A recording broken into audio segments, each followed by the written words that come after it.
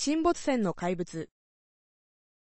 密東サルベージ会社の沈没船引き上げの仕事が房総半島の東側にある大戸村の沖合で行われていました。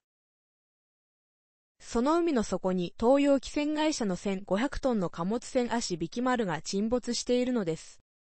一月ほど前の嵐の場に足引き丸は航路を間違えて海の中の大きな岩にぶつかり、すねの底が破れてそこへ沈んだのです。この沈没船の引き上げを頼まれたサルベージ会社の作業船は、足引き丸の沈んでいる海面に行って、どんな風にして引き上げたらよいかを調べるために、まず、二人の潜水ヨットを海の底へ下ろしました。厚いゴム製の服を着て、丸い鉄の兜をかぶり、重い鉛のついた靴を履いて、二人の潜水ヨットは作業船の外側についた鉄橋号、スタより、ブクブクと泡を立てて、青い海の中入っていきました。空気を送る管と命綱がぐんぐん伸びていきます。そこは海の中の岩山のようなところで大きな岩が盛り上がっていて、そこは案外浅いのです。水面から30メートルぐらいでもう海の底へついてしまいます。30メートルも降りると海の中は夕闇のように暗いので潜水ヨットは強い光の水中電灯を下げています。電線は命綱に絡ませて作業船の上に続いているのです。彼らはその電灯を振り照らしながら、昆布などの海藻が人の背よりも高くはえしげって、ひらひらと揺れている中をかき分けるようにして進みました。向こうの方にどす黒い巨大な怪物のようなものがぼんやり見えています。それが沈没船なのです。二人の潜水ヨットは鉄兜の後ろから早期艦と命綱をゆらゆらと後に引きながら、その黒い船体へ近づいていきました。鉄兜についている丸いザラスの覗き窓のすぐ前をいろいろな魚がスイスイと泳いでいきます。大きなサメなどがむーっと現れて鉄兜にぶつかってくることもあります。二人はやがて沈没船にたどり着いて傷ついた場所を調べ始めました。横倒しになった黒い船体のそばを友の方からへさきに向かって水中電灯を照らしながら歩いていくのです。沈没船は海の底の大きな鉄の家のようでした。その長い長い鉄の壁に沿って歩いていくのです。しばらく歩くと先に立っていた潜水ヨットが電灯を上下に動かして合図をしました。傷ついている場所を見つけたのです。船の底の鉄板が巨人の下のようにペロッとめくれて人間が二人も通れるほどの大きな穴が開いていました。こんな穴から水が滝のように流れ込んではどうすることもできなかったでしょう。二人の潜水ヨットはその破れ穴の大きさを測るために水中電灯を近づけました。すると穴の中からちらっと覗いたものがあります。とっさに大きな魚がいるのではないかと思いましたが、魚ではありません。なんだか人間に似ているのです。それも普通の人間ではなくて、恐ろしく大きな人間の顔のように感じられました。しかし、この沈没船には人間の死体が残っているはずはないのです。乗組員は全部救い出されていたからです。しかも今ちらっと覗いたのは死体の顔ではありません。生きた人間、いや人間に似た変なものでした。潜水ヨットたちは海の底でいろいろな恐ろしいものに出会っていますから、ちょっとぐらいのことには驚かないのですが、今ちらっと覗いたやつは、なんだかひどく薄気味の悪いものでした。さすがの潜水ヨットたちも怖くなってきました。二人はそこに立ちすくんでしばらく顔を見合わせていましたが、一人が水中電灯の光の前で右手をひらひらと動かしました。言葉の代わりの手真似なのです。潜水艦部との中には電話装置があって作業船の上の人たちと話ができますけれど、潜水ヨット同士が電話で話し合うことはできません。お互いの手に電線を仕掛けて手を握り合えば電話が通じる仕掛けもあるのですが、普通はそういう仕掛けをしていないのです。日本の潜水ヨットは今のような進んだ潜水服ができない昔から海の底に潜ることが上手でしたから水の中で手真似で話すことにも慣れているのです。聴導士が手真似で話をするように潜水ヨットも手真似だけで何でも話すことができるのです。君は怖いのか？一人の潜水ヨットの手真似はそう言っていました。そんな風に聞かれると維持にも怖い。などとは言えません。怖いもんか？中へ入ってみよう。もう一人の潜水ヨットが手真似で答えました。君、先に入れ。いや、君の方が穴に近いじゃないか。君、先に入れ。二人が先を譲り合っているのは実は怖いからです。しかし、日本の海難救助員が勇敢なことは世界中に知られています。その日本潜水ヨットの名誉にかけても怖いなどとは言えません。怪しいものを見て逃げ出したことがわかれば仲間の物笑いです。それじゃ手をつないで一緒に入ろう。うん、それがいい。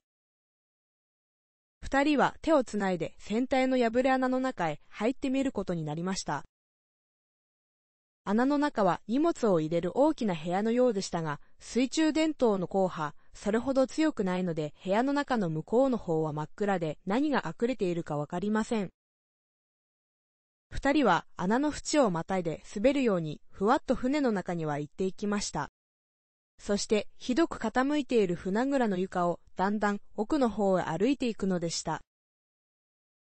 箱詰めや小包みの荷物がゴロゴロしています。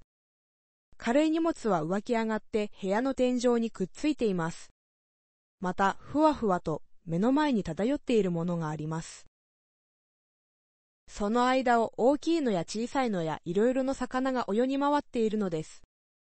それが水中電灯のそばに銀寄ると、鱗が赤みがかった金色や青みがかった銀色にキラキラと美しく光るのです。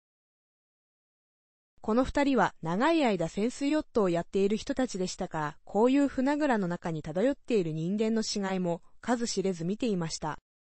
水ぶくれになった死体、もう骨ばかりになった死体など、気味の悪いものには慣れっこになっていたのです。ですから、さっきちらっと覗いた奴が人間の死体でないことはよくわかっていました。無論魚でもありません。なんだか得体の知れないものでした。今にも向こうの荷物の陰からさっきのやつがぬーっと現れるのではないかと思うと、物慣れた勇敢な潜水ヨットたちも気味が悪くて背中がゾクゾクしてきました。しかし、その船蔵の中には別に怪しいものも見えません。一方の壁に船蔵から次の部屋へ行くドアが開いたままになっています。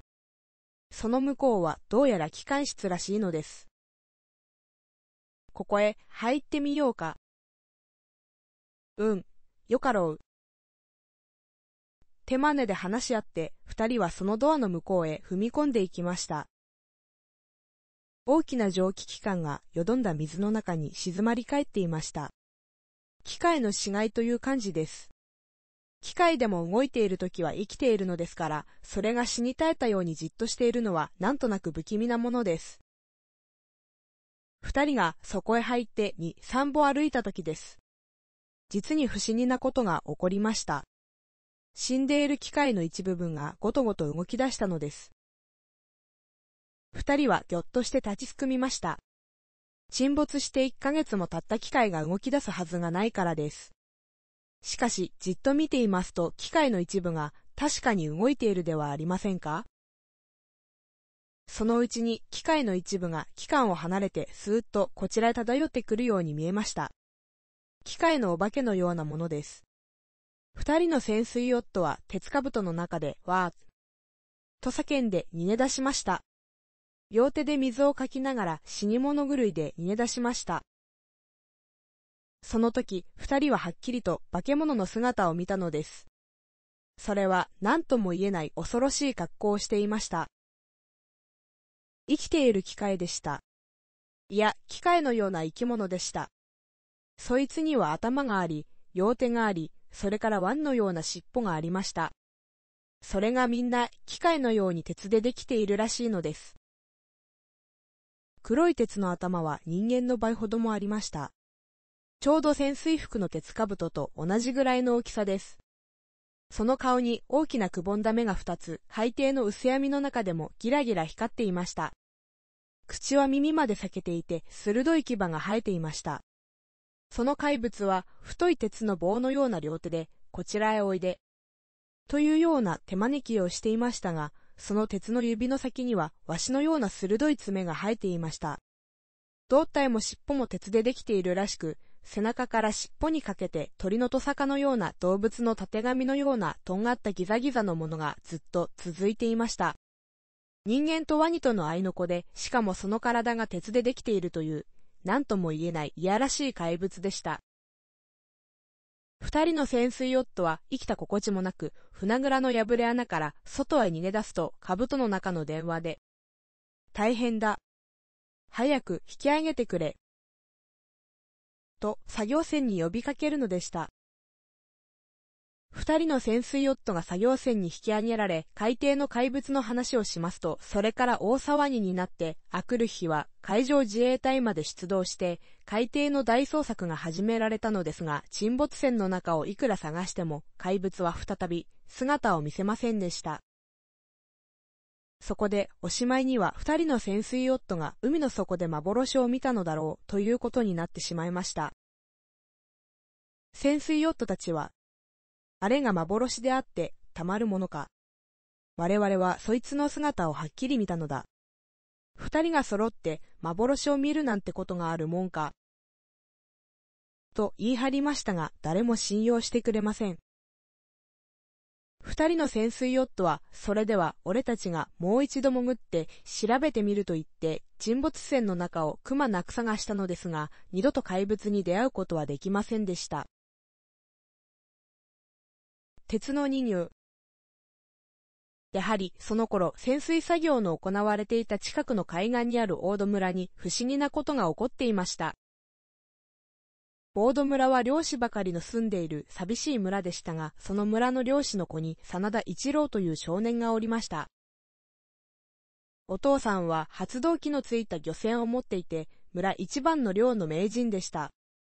一郎くんは近くの町の中学校の一年生で、行く末はお父さんよりも立派な漁師になって遠洋漁業をやりたい希望でした。そのために専門の学校へ入れてもらう約束がちゃんとできているのです。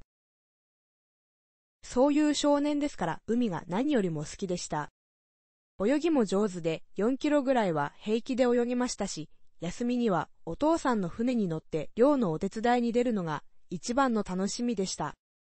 船にも乗れないし、泳ぎもできない時には学校から帰ると村外れの高い岩山の上から太平洋を眺めるのが日課のようになっていました。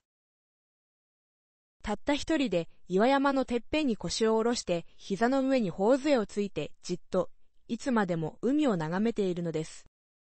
遥か向こうのアメリカ大陸まで無念に広がっている広大な海、なんとのびのびとした美しい景色でしょう。同じ海でもその美しさは時によってびっくりするほど違って見えるのです。まるで鏡のような静かな凪の時、海一面が泡立ち、煮えたぎるような嵐の時、朝日、夕日に真っ赤に彩られた海、満月の光で銀色に輝く海、その一つ一つがみんな魂もとろけるように美しいのです。その夕方も一郎くんは学校から帰ると磯にの宿題を済ませてから家を駆け出して岩山の上に登り、そのてっぺんに腰を下ろして懐かしい巨大なお母さんのような海にじっと見入っていました。しばらくすると大空にたなびいている長い雲が黄色くなり、やがてだんだん赤くなってまるで色ガラスのような真っ赤な色になり、それが広い海にまで染まって見渡す限りの水が絵の具を溶かしたように美しく輝くのでした。振り向くとたらえのように大きな真っ赤な太陽が今、後ろの山に隠れようとしているのです。その時でした。一郎くんはふと岩山の下の波打ち際を見下ろしましたが、そこの岩の上になんだか黒い妙なものがうごめいているのを発見し、はっとして目を凝らしました。20メートルも下の海岸ですから、細かいことはわかりませんが、今まで一度も見たことのない不思議なものがそこの岩の上にうずくまっているのです。あ、黒い人魚だ。一郎くんは思わず声を立てました。そのものは魚の尻尾の上に人間の体がついているような形をしていました。体は真っ黒でゴツゴツしていますけれど、その形は何かの絵で見た人魚とよく似ていました。絵の人魚は鱗のある魚の尻尾の上に美しい裸の女の人が長い黒髪を後ろに垂らしているのですが、今目の下にいる人魚は真っ黒でなんだか鉄ででもできているように四角ばって頑丈に見えるのです。また、魚のような尻尾も鱗が銀色に光っているのではなくて、ワニのように硬いかめしい尻尾のようです。一郎くんは人魚なんて実際にあるものではないと信じていました。その、この世にいないはずの人魚が、しかも鉄のようにいかめしい人魚が今、目の下の岩の上に動いているのを見たのですから、自分の目を疑わないでいられません。頭がどうかしたのではないかと、恐ろしくなってきました。しかし、一郎くんは勇気のある少年でした。恐ろしいものを見たからといって、びっくりして逃げ帰るような弱虫ではありません。見えるどころか反対にもっと近くからあの怪物の姿をはっきり見極めてやろうと決心したのです。裏道伝いに岩山を駆け下りて海岸にあるトンネルのような岩の影からそっと怪物を覗きました。怪物の腰掛けている岩はつい目の先10メートルほどのところにあるのです。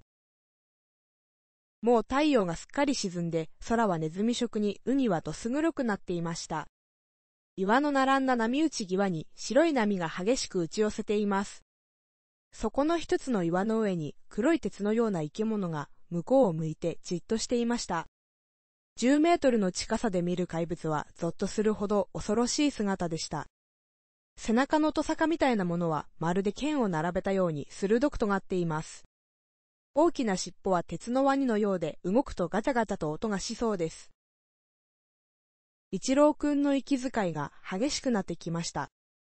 一体こんな恐ろしい怪物が太平洋に住んでいたのでしょうか深い深い海の中の谷底には動物学者も知らないような怪物がいると聞いていましたが、それがひょっこりこの日本の海岸へ姿を現したのでしょうかドキドキする胸を押さえて、そんなことを考えていたとき、怪物が身動きをしました。そして突然ぐるっとこちらを振り向いたのです。一郎くんは心臓が喉まで飛び上がるような気がしました。ああ、その怪物の顔。一郎くんは一生涯忘れることはできないでしょう。背中の鋭いと坂が頭の上まで続いていました。ホラー穴みたいにくぼんだ大きな二つの目が人のように青く光っていました。口は耳まで裂けてその唇の間からニューッと牙が突き出していました。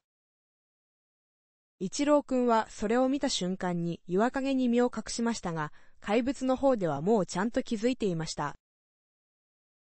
じゃ、じゃ、じゃ、じゃ、という鉄と鉄がすれ合うような気味の悪い大きな音が響いてきました。後で分かったのですが、それは怪物の笑い声だったのです。隠れてもダメだ。俺は知っているぞ。出てこい、そして俺の言うことを聞け。怪物の声でした。この海底の化け物は日本語を喋るのです。しかし、発音はひどく曖昧で、やっぱり鉄のすれ合うような音で、よほど注意しないと聞き取れないのです。一郎くんはもうダメだと思いました。この怪物に捕まえられて海の底に連れて行かれるのだと決死の覚悟を決めました。そして勇敢にも岩陰から顔を出して怪物と睨み合ったのです。君は強いね、でらい子供だ。君なら俺の言うことをみんなに伝えてくれるだろう。いいか、よく聞け。俺は海の底の魔物だ。この村にはもう来ない。しかし、間もなく日本中が大騒ぎになるだろう。俺が仕事始めるからだ。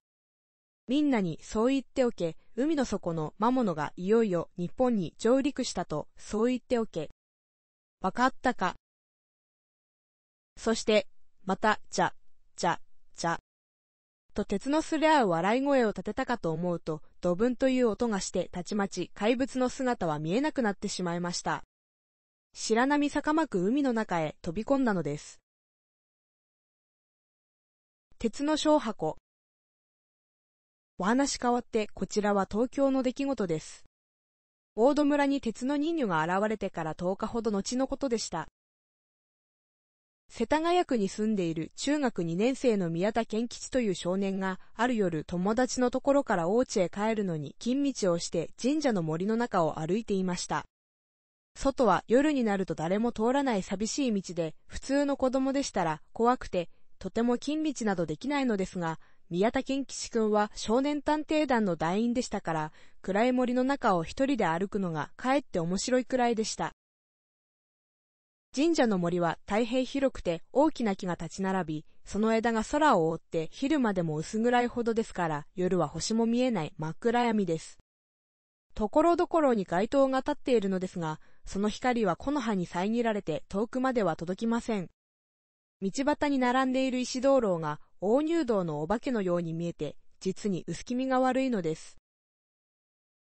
健吉くんは口笛を吹きながら足早に歩いていましたが、森の真ん中ほどまで来ると自分の足音の他にもう一つ別の足音が聞こえるような気がしました。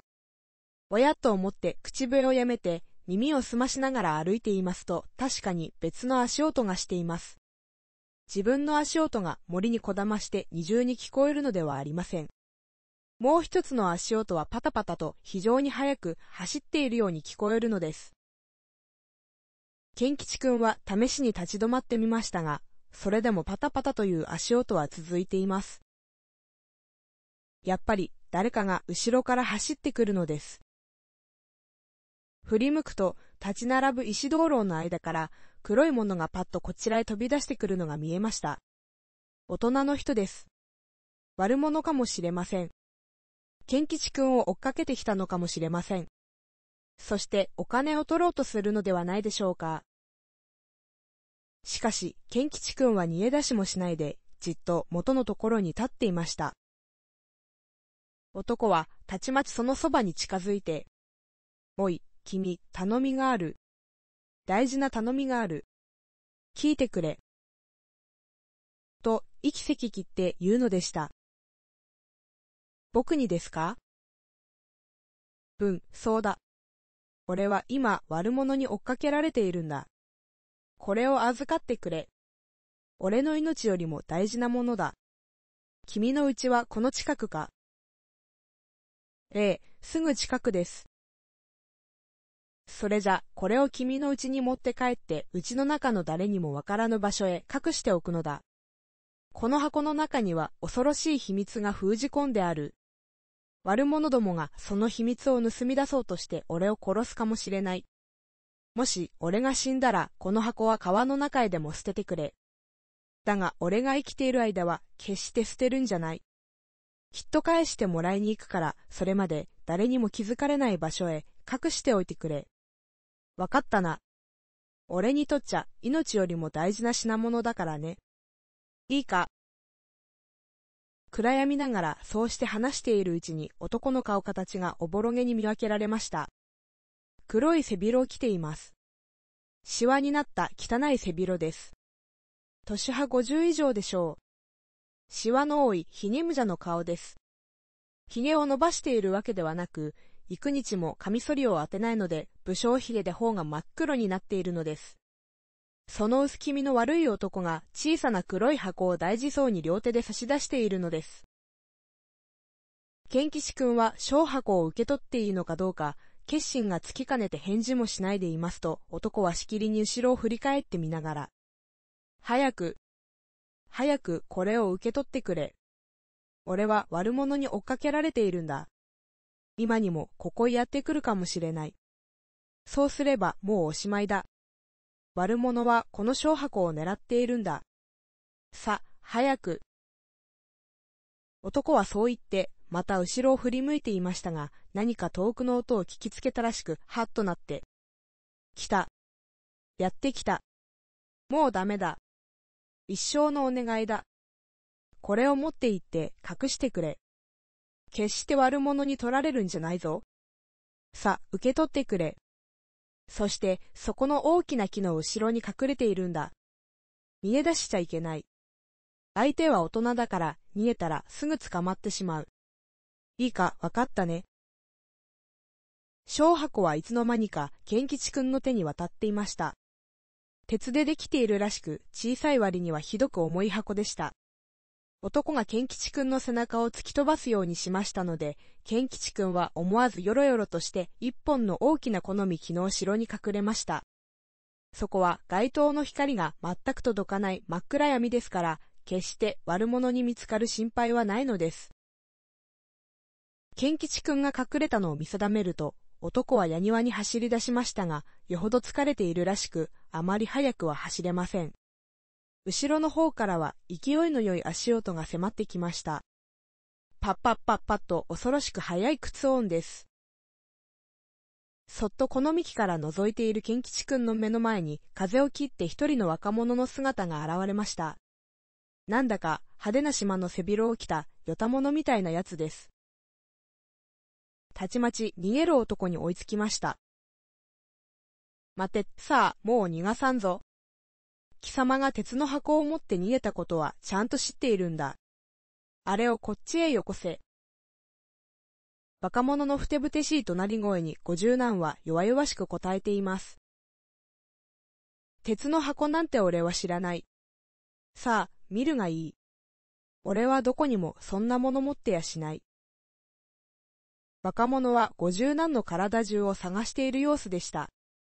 しかし、鉄の箱はとっくに賢吉くんの手に渡っているのですから、どこからも出てくるはずはありません。畜生。どこかへ隠したな。さあ、白状しろ。どこへ隠した言わないと痛い目をさせるぞ。若者は五十何の手を握って背中の方へねじ上げています。しかし、男は一言も答えません。そればかりか、今は死に物狂いになってパッとその手を振り切ると、いきなり若者につかみかかっていきました。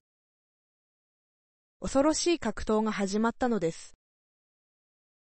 二人は暗闇の中で、くんずほぐれつと組合、そのまま倒れて上になりかになり、地面をゴロゴロ転がり回っていましたが、五十男が若いよた者にかなうはずはありません。いつの間にか若者に組み敷かれて気味の悪いうなり声を出していました。若者は五十何の上に馬乗りになって、両手でその首を締め付けているのです。下の男は死んでしまうかもしれません。もうぐったりとなって声を立てることもできない様子です。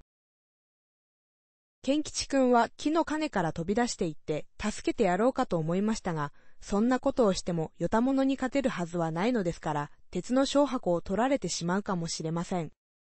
取られては男にすまないのです。命を捨てても隠したいと思っている小箱ですから、どんなことがあっても、よたものに渡すことはできません。そんなことを忙しく考えて、ためらっているうちに若者が手を離して立ち上がった様子です。命は助けてやる。鉄の箱を手に入れるまでは貴様を生かしておかなくちゃ親分に叱られるからな。これから帰って親分と相談してまた出直してくる。鉄の箱はどうしたって手に入れるつもりだから、そのつもりでいろ。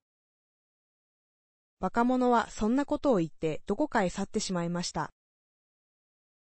立ち去ったと見せかけてどこかに隠れているのではないかと、賢吉くんはしばらく様子を見ていましたが、いつまで経っても何事も起こらず、本当に帰ってしまったらしいので、おずおずと木の陰から出て倒れている男に近づきました。男はまるで死んだようになっていましたが、ケン吉くんが顔を覗いて抱き起こそうとすると、やっと目を開いて苦しそうな声を出しました。あ、君か。俺はやられた。もうダメだ。箱を頼んだよ。俺が死んだら川へ捨ててくれ。それからどうせ警察沙汰になるだろうが、箱のことだけは黙っててくれ。警察にも知られたくないんだ。君のうちの人にも言っちゃいけないよ。俺は何も悪いことはしていない。君に迷惑がかかるようなことは決してないのだから。いいか、頼んだよ。それだけ言うのが精一杯でした。男はそのまままた目を塞いでぐったりとなってしまいました。賢吉君は自分一人ではどうにもならないと思ったので、いきなり駆け出して神社の森を抜け、近くのお家へ帰ってお父さんに今までの出来事を伝えました。鉄の箱は自分の勉強部屋の本箱の引き出しの中へ隠し、お父さんにもそのことは言わなかったのです。お父さんは警察へ電話をかけておいて、自分も健吉くんの案内で森の中へ行ってみることにしました。窓の顔健吉くんにケツの小箱を預けた五十男は、それから4、5日後に警察の病院で息を引き取りました。調べてみると、この男は船員上がりの宿なしで、家族も親戚もない、一人ぼっちの男と分かりましたので、警察の手で病院に入れて手当てをしたのですが、もともと体が弱かったので、とうとう死んでしまったのでした。さて、その男が死んだとなると、健吉君は約束に従って鉄の小箱を川へ捨てなければならないのですが、何か大きな秘密が隠されているというその箱を捨ててしまう気にはどうしてもなれません。そっと隠しておいて自分でその秘密を探ってみたいのです。それで約束には背くけれどもしばらく捨てないで隠しておくことにしました。その箱は長さ15センチ、幅9センチ、厚さ6センチほどの唐草模様の彫刻のある黒い鉄の箱で、どこにも割れ目がなく、どうして開くのか少しもわかりません。中には何が入っているのか、降ってみても何の音もしないのです。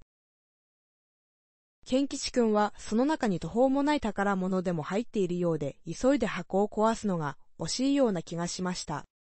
後でゆっくり調べることにして、どこか誰にも知られないような場所へ隠さなければなりません。そこでいろいろ考えた末、庭の月山の手頃な石の下へ隠すことに決め、森の中の格闘のあった夜、みんなが寝静まった頃、そっと部屋の窓から抜け出して、おもちゃのシャベルで石の下を掘って、そこへ鉄の箱をうずめておいたのです。男が病院で死んだという知らせを受けた晩にも、その石を上げて覗いてみましたが、鉄の箱はちゃんとそこにありました。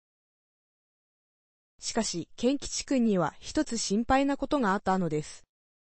森の中の格闘の後で、家に帰った時ワニのポケットに入れておいたナイフがなくなっていたのです。鉛筆を削る小さなナイフですが、あの時木の影に隠れていて、格闘を見ている間に思わずそのナイフを手に握っていたのです。別にそれでよたものを傷つけようというわけではなく、ただ一人でに手がそこへ行ってナイフを握りしめていたのです。その時は元のポケットに入れておいたつもりでしたが、慌てていたので、うっかり落としてしまったのかもしれません。そのナイフは外側に鹿の角が貼り付けてあるのですが、悪いことにはその鹿の角の表面に自分の名がローマ字で KMIYATA と彫り付けてありました。もし、あのナイフを悪者に拾われたら、ケンキチ君が鉄の箱を隠していることを悟られるかもしれません。それで、あくる日、昼の間に森の中へ行って、その辺をくまなく探したのですが、ナイフはどこにも落ちていませんでした。あのよたものが後からやってきて拾っていったのではないでしょうか。ケンキチ君にはそれがただ一つの心配でした。さて、男が病院で死んでから15日ほど経ったある晩のことです。ケンキチ君は勉強部屋の机に向かって学校の宿題をやっていました。もう夜の9時頃でした。その日も夕方誰も見ていないのを確かめて、月山の石の下を覗き、鉄の箱がちゃんと元の場所にあることを確かめておきました。そして安心して勉強していたのです。この分ではナイフを拾ったのは悪者ではなさそうです。あれから半月も経つのに、ケン吉くんの身辺に何事も起こらないのですから、もう大丈夫という気がしていました。ところがそうではなかったのです。宿題の難しいところに差し掛かったので、ケン吉君はそれを考えるために鉛筆を置いて目の前の空間を見つめていました。すると、目の前になんだか、もやもやと動いているものがあるのです。おやっと思って目を定めてそこを見ました。机の向こうにガラス窓があります。カーテンが引いてないので、そこから真っ暗な庭が見えています。その真っ暗な中に何か黒いものがもやもやと動いているのです。闇の中に黒いものですからよく見分けられませんが、何かいることは確かでした。人間かと思いましたが、人間ならば顔は白く見えるはずです。どうも人間ではなさそうです。人間ではなくて人間ほどの大きさのものです。ゾーッと背中が寒くなりました。その黒いものはだんだんこちらへ近づいてきます。もう窓ガラスのすぐそばまで来ました。ぼんやりと形が見えます。それは今まで一度も見たことのないような薄気味の悪いへんてこなものでした。ひょっとして心臓が喉のところまで飛び上がるような気がしました。そのものが窓ガラスにぴったり顔をくっつけて、ケンキチ君を睨みつけたからです。額の下がゴリラのようにくぼんでいて、その奥から輪のように青白く光る二つの目が覗いていました。口は耳まで裂けて、その唇の間から二本の牙がニューッと伸びていました。それは人間の顔ではありません。動物の顔でもありません。なんだか得体の知れないものです。顔全体がまるで鉄のように黒光りに光っているのです。ケン吉君は逃げ出そうとしました。しかし、輪のように光る目で睨みつけられると、ちょうど蛇に睨まれたカエルのように、もう身動きができなくなって椅子にかけたままじっとしているほかはないのでした。それからもっと恐ろしいことが起こりました。ガラス窓がじりじりと下から上へ開き始めたのです。怪物が外から押し上げ窓を開いているのです。それでも、ケン吉くんはまだ逃げる力がありません。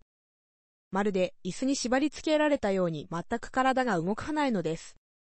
そして目は怪物の方に引きつけられ、見舞いとしてもその方から反らすことができないのです。窓は少しずつ少しずつ上の方へ入っていきました。そして40センチほど開いたとき、怪物の顔がニューッと窓の中へ入ってきました。二つの目は青い炎のように燃えています。頭の上には気味の悪いトサカのようなものが鋭く突っ立っています。それから口が、その耳まで裂けた口がキューッと三日月型に開いて、じゃ、じゃ、じゃ、じゃ、じゃ、と笑ったのです。鉄と鉄が擦れるような恐ろしい音を立てて笑ったのです。怪物の行方。ケン吉くんは思わずは、と叫んで椅子から立ち上がり、ドアの方へ逃げようとしましたがその時、頭がふらふらして目の前がスーッと暗くなり、そのまま気を失って倒れてしまいました。なんだか今変な声がしたようだね。ケン吉くんのお父さんが奥の部屋から茶の間に出てきました。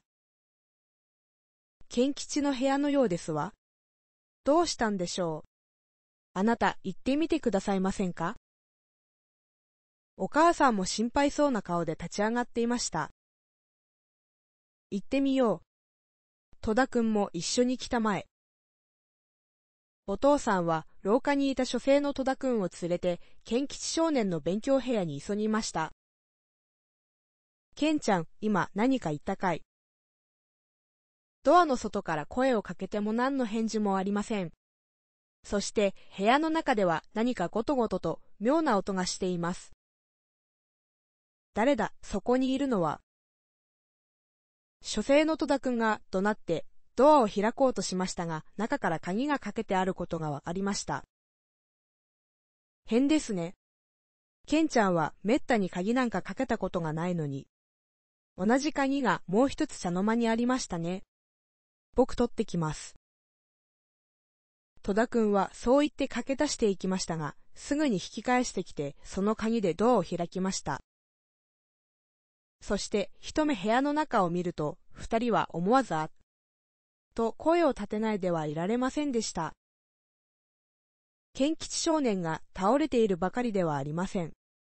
本箱や机の引き出しが全部引き抜かれて、その中のものが部屋いっぱいに散らかっていたからです。お父さんは、ケン吉くんのそばに駆け寄って抱き起こし、ケンちゃん、ケンちゃん、と読んでその体を揺り動かしました。すると、ケン吉くんはやっと気がついて目を開き、いきなりお父さんの体にしがみつきました。どうしたんだ？一体どうしたと言うんだ？お父さんは散らばった部屋の中や開いた窓を見て不審らしく尋ねました。ケン吉くんはお父さんにしがみついたまま、そっと部屋の中を見回しましたが、さっきの恐ろしい奴はもうどこにもいないことがわかりました。窓からお化けが入ってきたのです。体に鱗の生えた牙のある恐ろしいやつです。僕、そいつに食われてしまうかと思った。きっと窓から出て行ったのです。まだ庭にいるかもしれない。ケン吉くんはそう言ってガタガタ震えていました。お父さんはそんな怪物がこの世にいるとは思いませんので、ケン吉くんが夢か幻でも見たのではないかと疑いましたが、それにしては部屋の中が引っかき回したように散らかっているのが変です。お父さんは開いたガラス窓に駆け寄って真っ暗な庭を見回しました。しかし庭には何もいる様子がありません。おや。お父さんはその時窓の敷居に恐ろしい書き傷ができているのに気がつきました。それは大きな鋭い五本の爪でぐっと引っかいたような生々しい跡でした。おい、戸田君、この傷を見たまえ。なんだか動物の爪の跡のようじゃないか。そうですね。今朝までこんな跡はついていませんでした。ひょっとしたら本当に怪しい奴が入ってきたのかもしれませんね。書生の戸田君も顔色を変えていました。よし、庭へ出てみよう。足跡があるだろう。君、懐中電灯を持ってきたまえ。健吉くんはさっきからそこ様子を見に来ていたお母さんにしがみついて震えていました。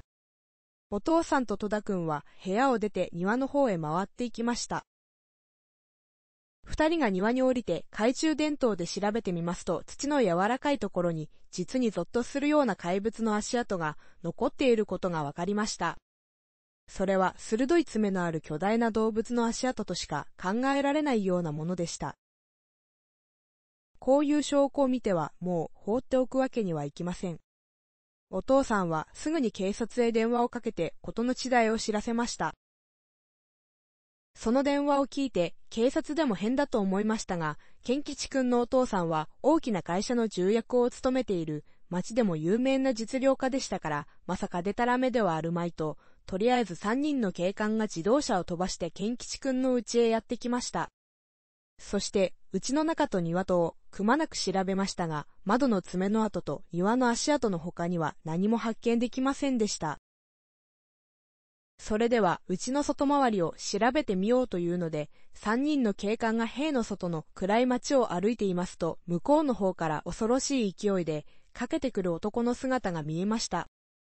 何者かに追いかけられているように一目散に走ってくるのです。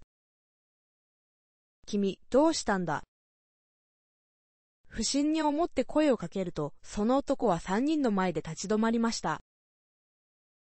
あ、おまわりさんですね。大変です。恐ろしい奴がマンホールの中から出てきたのです。息を切ってまた逃げ出しそうにしています。どこか近くの店の店員らしくジャンパーを着た若い男です。君は一体何を見たんだ？化け物です。それを聞くと警官たちは、この男はもしや賢吉君を襲った怪物に出会ったのではないかと思い、慌てて尋ねました。そのマンホールっていうのはどこだ？あそこです。この町の角を曲がったところです。警官たちはそこまで聞くと、よしっと叫んでいきなりその町角へ駆け出しました。角を曲がるとすぐにマンホールが見えました。しかし、別に怪しいものも見当たりません。マンホールにはちゃんと鉄の蓋が閉まっています。おい、このマンホールかい。何もいやしないじゃないか。おずおずついてきた若者に尋ねますと、さんも怖そうに指さしながら、それです。その蓋がスーッと持ち上がって、中から恐ろしい化け物が出てきたのです。恐ろしい化け物ってどんなやつだった？牙が生えていました。それから鱗が生えていました。目が輪のように光っていました。やっぱりそうでした。ケン吉くんを襲った怪物です。そいつはマンホールから出たのでなくて、マンホールへ逃げ込んだのかもしれないぞ。警官の一人がさすがに気味悪そうに目の前のマンホールの蓋を見ました。よし、それじゃ、調べてみよう。手を貸したまえ、そして君はピストルを出して構えていてくれ。危険と見たらぶっ放すんだ。三人の中で先輩らしい警官がそう言って懐中電灯をつけるとマンホールの蓋のそばにしゃがみ込みました。もう一人の警官がそれに手を貸します。残る一人は腰のサックからピストルを抜き出して、いざといえば発射する身構えをしました。空、いいか。二人の警官が力を合わせてマンホールの鉄の蓋を開いて脇にのけました。穴の中は真っ暗です。懐中電灯の光がさっとそこを照らしました。その中に鉄の鱗の怪物がうずくまっていたのでしょうか。いや、そうではありません。中は空っぽだったのです。警官たちは拍子抜けしてしまいました。なんだ。何にもいないじゃないか？それは下水のマンホールでしたが、細い下水道ですから、そこから下水を伝って逃げることはとてもできません。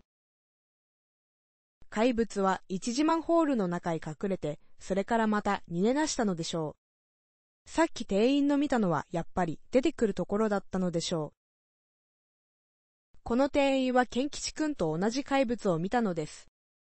二人も見た人があるからにはもう夢や幻とは言えません。捨ててはおけないのです。そこで警官は電話でこのことを本署に知らせ、本署から警視庁に連絡しました。それからは大変な騒ぎです。パトロールカーが3台もやってきました。警視庁や警察署から何台も自動車が来ました。それに新聞記者です。健吉くんのお家は臨時の捜査本部になって、門の前には十何台の自動車が並び、近所の人たちが何事かと集まってくるものですから、たちまち黒山の人だかりです。何十人という警官による大捜索が始まりました。その近くの家という家は、片っ端から調べられ、町という町は警察の自動車が巡回し、非常線が張られ、アリの這い出す隙間もない、捜査の網が張られました。しかし、あくる朝になっても、どこからも怪しいものは発見されませんでした。鉄の人魚は煙のように消え失せてしまったのです。その翌日の新聞は鉄の鱗の怪人の記事でいっぱいでした。賢吉くんのうちの窓敷きに残った爪の跡と庭の大きな動物の足跡が写真になって新聞に載ったのです。日本全国の人がその新聞を読んで震え上がってしまいました。そして人が集まればこの恐ろしい怪物の話で持ちきりでした。大金会賢吉少年はそのあくる朝、警察の人たちが引き上げていくのを待って、そっと庭へ出ました。庭の石の下に隠しておいたあの小さい鉄の箱を調べてみるためです。夕べの怪物が鉄の箱を持って行ったのではないかと心配でたまらなかったのです。目印の石を持ち上げてみますと、ああよかった。鉄の箱はそこにありました。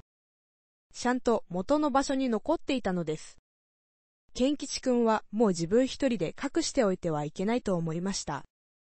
それで箱を取り出すと急いで家に駆け込み、それをお父さんに見せてこの間の夜、神社の森の中で格闘があった時、顔中に髭の生えた汚いおじさんにこの箱を預けられたこと、そのおじさんはもし俺が死んだら鉄の箱を川の中へ捨ててくれと言ったけれども、おじさんが警察病院で死んでからも捨てる気になれないので、庭の石の下へうずめておいたことを詳しく話しました。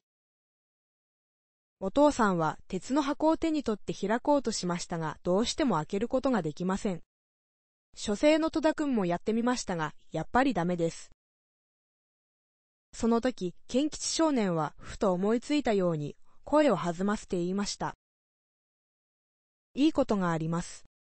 僕、その箱を明治探偵事務所へ持って行って、僕らの少年探偵団の小林団長に見せましょう。そして、明智先生の知恵を借りれば、きっとこの箱の秘密がわかりますよ。うん、それはいい思いつきだ。戸田くんに送ってもらって、いつも呼びつけのハイヤーに乗って行ってくるがいい。運転手と戸田くんと二人も護衛がついてれば大丈夫だろう。それに昼間のことだしね。お父さんも賛成だったので、まず明治の事務所へ電話をかけますと、明智先生も小林少年も事務所にいることが分かりましたので、顔見知りの運転手の自動車を呼んで、賢吉少年は鉄の箱を大事に抱えて、書生の戸田くんと一緒にそれに乗り込みました。事務所に着くと、小林少年が出てきて、二人を応接室に通しました。そして、賢吉くんから話を聞き、鉄の箱を手に取って、いろいろやってみましたが、小林少年にも開くことができません。ちょっと待っていたまえ。明智先生にこの箱を見せてくるから。小林少年はそう言って箱を持ってドアの外へ出て行きましたが、十分ほどすると明智先生と一緒にニコニコして戻ってきました。先生はわけなくお開きになったよ。ほら、こうするんだ。箱根細工の秘密箱と同じだよ。唐草模様のここのところを押すんだよ。すると、こちら側が開くようになる。それからここを押すとね。に、三度同じことを繰り返せばいいんだよ。そうするとすっかり開いてしまう。だが、それよりももっと大変なことがあるんだ。この箱の中には何十億円という素晴らしい値打ちのものが入っていたのだよ。小林少年の説明にびっくりしていると、明智探偵が椅子にかけてニコニコしながら話し始めました。それはこういうわけだよ。この鉄の箱の中には三つの書き物が封じ込めてあった。一つは福永という元遠洋航路の太陽丸の船長をしていた人の遺言書。一つは紀伊半島の南の回路図。もう一つは保険会社の証書なのだよ。明治はそう言って手に持っていた何枚かの書き付けを見せました。その元船長の遺言書は難しい文章なので砕いて話すとね、今から20年ばかり前に、紀伊半島の潮の岬の沖で太陽丸という汽船が暴風のために沈没した。その時は何十年に一度というひどい嵐で太陽丸が無電で助けを求めても海岸から助けの船を出すこともできなかったほどで多くの先客や乗組員が死んでしまった。流れたボートにすがってやっと海岸にたどり着いたのは十数人の乗組員だけでその中に船長の福永という人も入っていた。自分だけ助かるというのはあまり偉い船長じゃないね。太陽丸が無電で助けを求めるとき、今どこにいるかという位置を知らせたのは言うまでもないが、福永船長の遺言書には、その時、自分は慌てていたので、大変な間違いをしたと書いてある。軽度の数字を間違えて無電技師に伝えたので、後で太陽丸がまるで見当違いの場所に沈んだようになってしまって、保険会社が船会社に保険金を払った後で、沈んだ場所を調べると、そこは非常に深いところで、船はもちろん、荷物も引き上げられないことが分かって諦めてしまった。福永船長はそれから一年ほど経ってやっと無電で送った沈没の位置が違っていたことに気づいたというのだが、これはどうもおかしいね。船長はわざと気づかないことにしておいたのかもしれない。そして、それからまた一年ほど経って、船長は保険会社から沈没した太陽丸の権利を買い取った。その頃のお金で二十何万円、今にすれば一億円ぐらいになるがね。そのお金をこしらえて、沈没船を自分のものにしてしまった。どうせ引き上げられない船だから保険会社も安く売ってしまったのだね。引き上げの見込みもない船にどうしてそんな大金を出したかというと、その船には香港からアメリカに送る金塊がたくさん積んであったのだ。遺言書にはその頃の値打ちで400万円とあるから今では20億円ほどのものだ。船長はそれを引き上げて大金持ちになろうとしたのだよ。保険会社から権利が買ってあるので誰にも遠慮することはないのだ。保険会社は世界中のどんな潜水技術でもどうしても引き上げられない深いところにあると思ったので権利を売ったのだが船長は太陽丸が無電で知らせた場所からは5マイルも隔たったもっと浅いところに沈んでいることをちゃんと知っていた。そこなら潜水作業もできるだろうと考えたのだよ。そこでいよいよサルベージ会社に頼んで金塊の引き上げをやろうといろいろな準備をしているうちにこの福永船長は大病にかかって何もできないようになり3ヶ月ほどで死んでしまった。天罰が当たったのだろうね。それでまだ字の書ける間に、この遺言書を書いて、鉄の秘密箱を作らせて、保険会社の証書と本当に太陽丸の沈んでいる場所を記した海図と一緒に封じ込んで自分の一人息子に残した。その息子が賢吉君に鉄の箱を預けたというわけだ。この息子は育児のない男で自分で引き上げて作業を始めることもできず、幾人かのお金持ちに引き上げの権利を売りつけようとしたが、その頃はもう貧乏になってしまって汚い風をしていたので、そんな男の海底の大金塊、なんて夢みたいな話は誰も信用してくれなかったのだね。そしていつの間にか20年が経ってしまった。そのことが息子の手で遺言書の端に書きつけてあるのだよ。明智探偵の長い説明がやっと終わりました。賢吉少年にはまだよくわからないところもありましたが、ともかく20億円の金塊が潮の岬の沖に沈んだままになっていることは、なんだか本当らしく思われてくるのでした。白昼の怪物明智探偵はそういう説明をした後で、賢吉少年と書生の戸田にこんなことを言いました。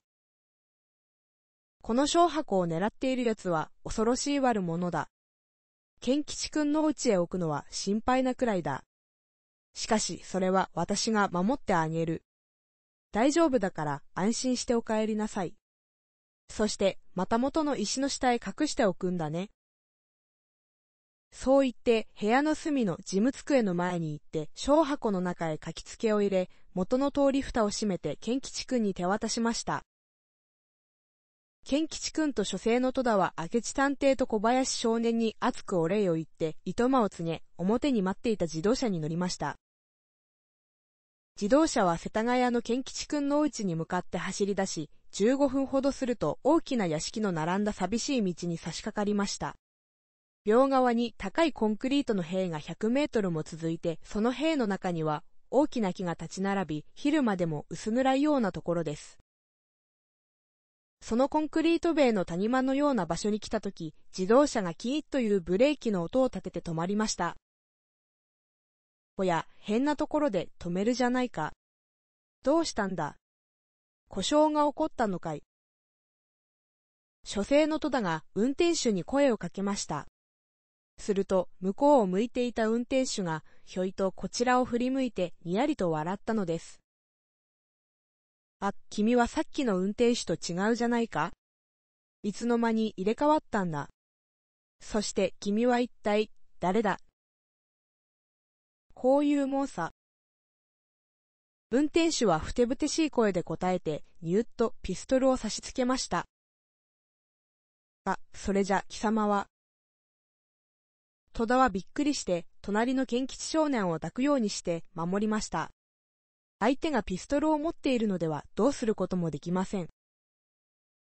なあに、君たちの命をもらおうとは言わない。鉄の小箱さえ出せばいいのだ。さあ、早く出せ。戸田は隙があれば自動車から飛び降りて逃げようとそっとドアの取っ手に指をかけました。すると相手は早くもそれを察して肉肉しく笑うのでした。ははは、ダメダメ、逃げようたって逃げられるものじゃない。ドアの外をよく見るがいい。はっとしてガラス窓の外を見ますといつの間に現れたのか窓のすぐそばにものすごい顔の男が立ちはだかっていました。手にはやっぱりピストルを構えてニヤニヤ笑っているのです。それじゃ、こちらからと反対側の窓を見ればこれはどうでしょう。そこにも同じような荒くれ男がピストルを構えて睨みつけているではありませんか三校からピストルを向けられてはもうどうすることもできません。戸田は賢吉少年に鉄の小箱を渡すように手真似で合図をしました。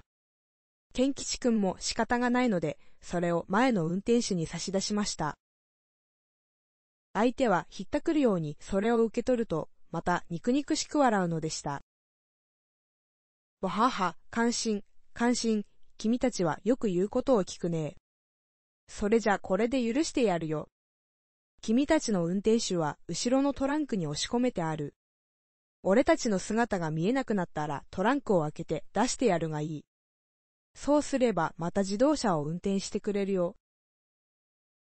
店運転手は自動車から飛び出してパタンとドアを閉めました。そして三人の男はまるで短距離の選手のように恐ろしい勢いで向こうへ駆け出していきました。ああ、取り返しのつかないことをしてしまった。あの大事な鉄の小箱を取られてしまった。ケンちゃん、あいつらはいつかの悪者の手下ですよ。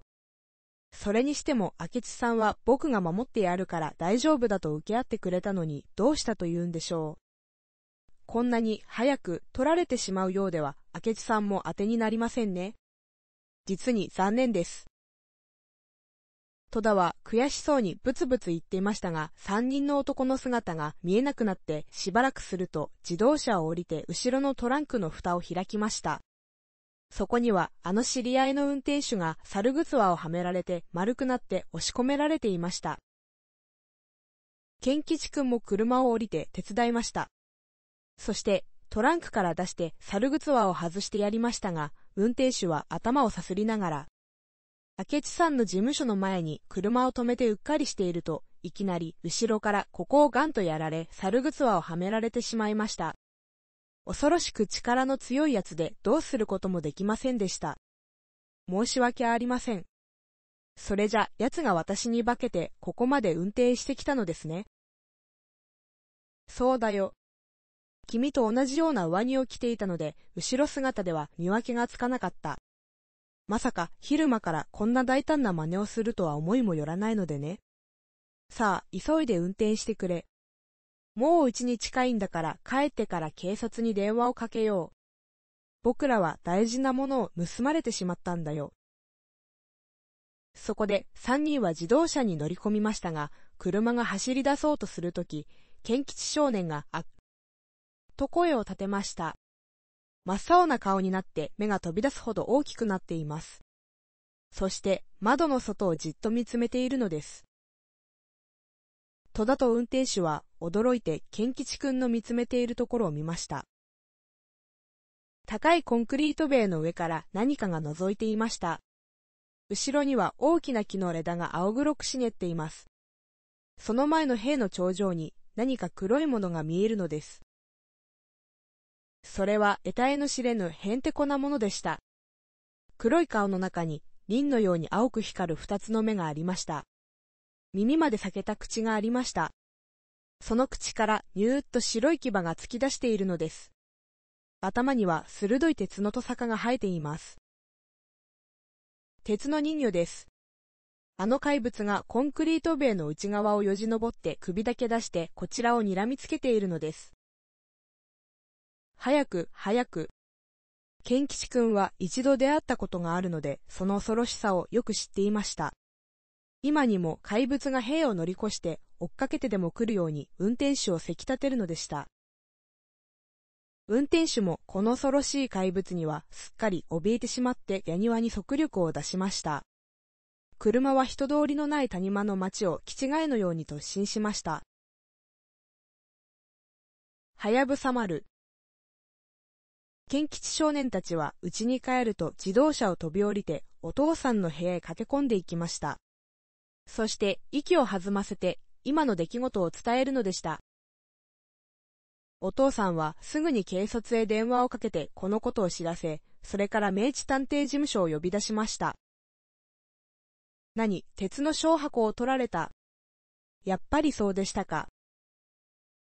電話校の明治探偵はそう言ってちょっと考えているようでしたが、すぐに言葉を続けました。それじゃ、これからすぐにお宅へ伺います。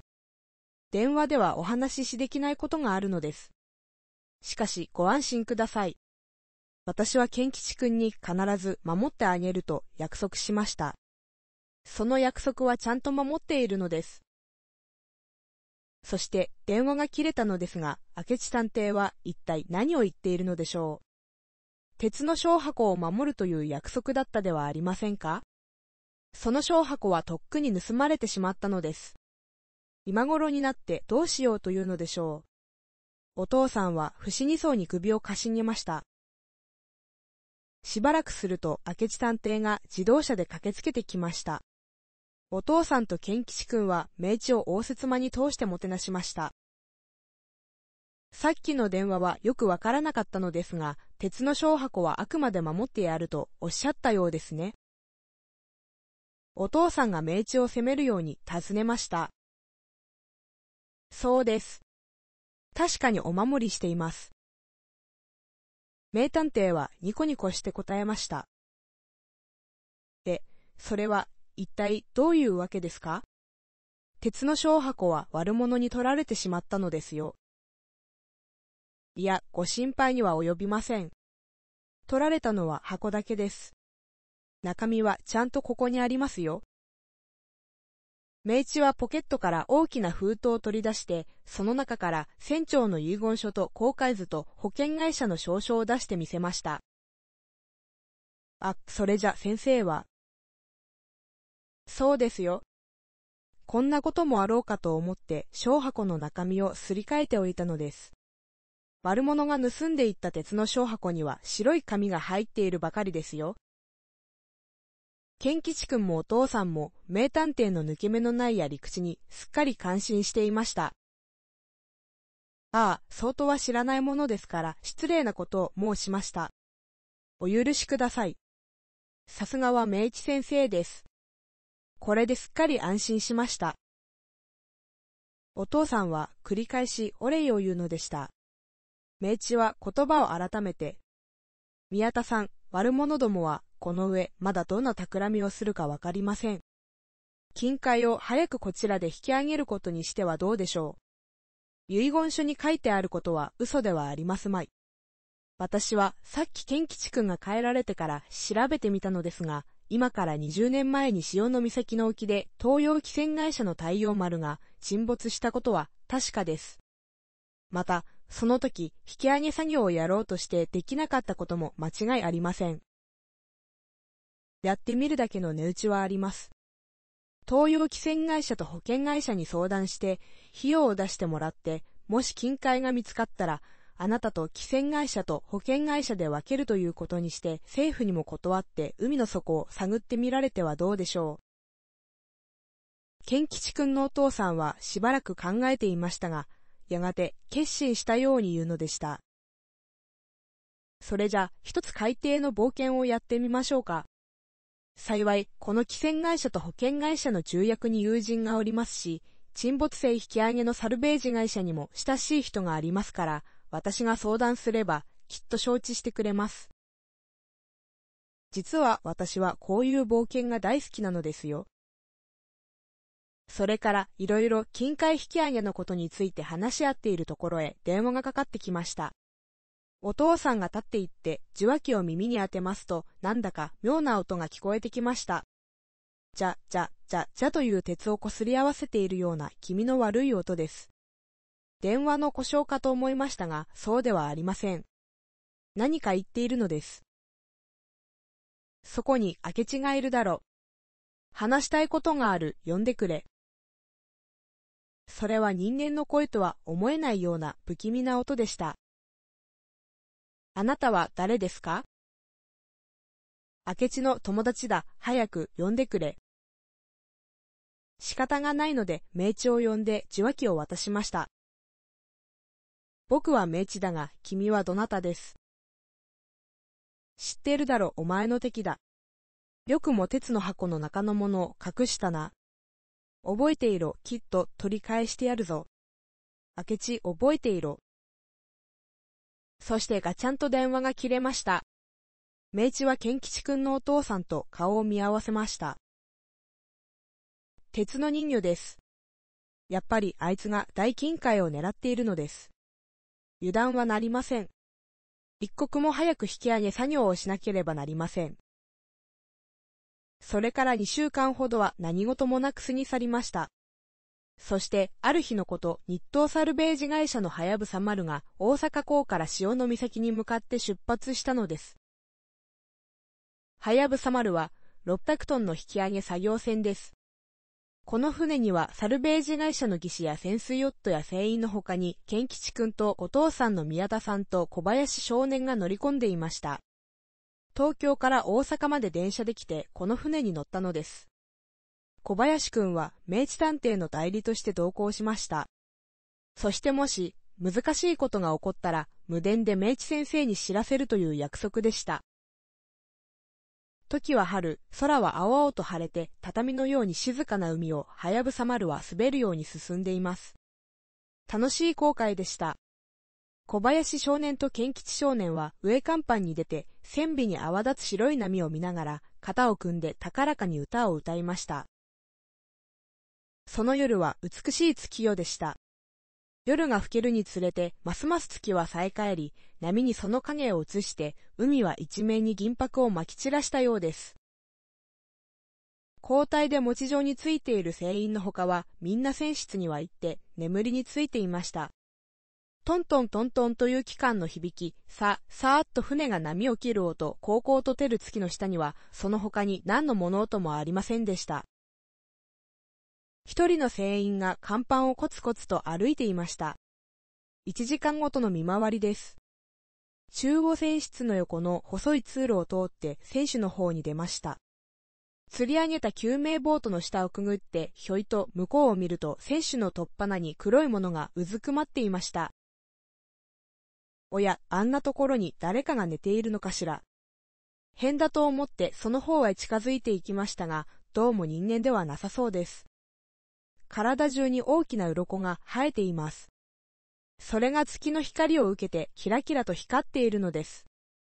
長い尻尾があります。頭から背中にかけてギザギザのトサカのようなものが続いています。なんだか大きな湾のようでした。しかし、この辺にワニが住んでいるはずはありません。船員は背中がぞーっと寒くなってきました。どんな動物の本にも書いてないような変に気味の悪いものです。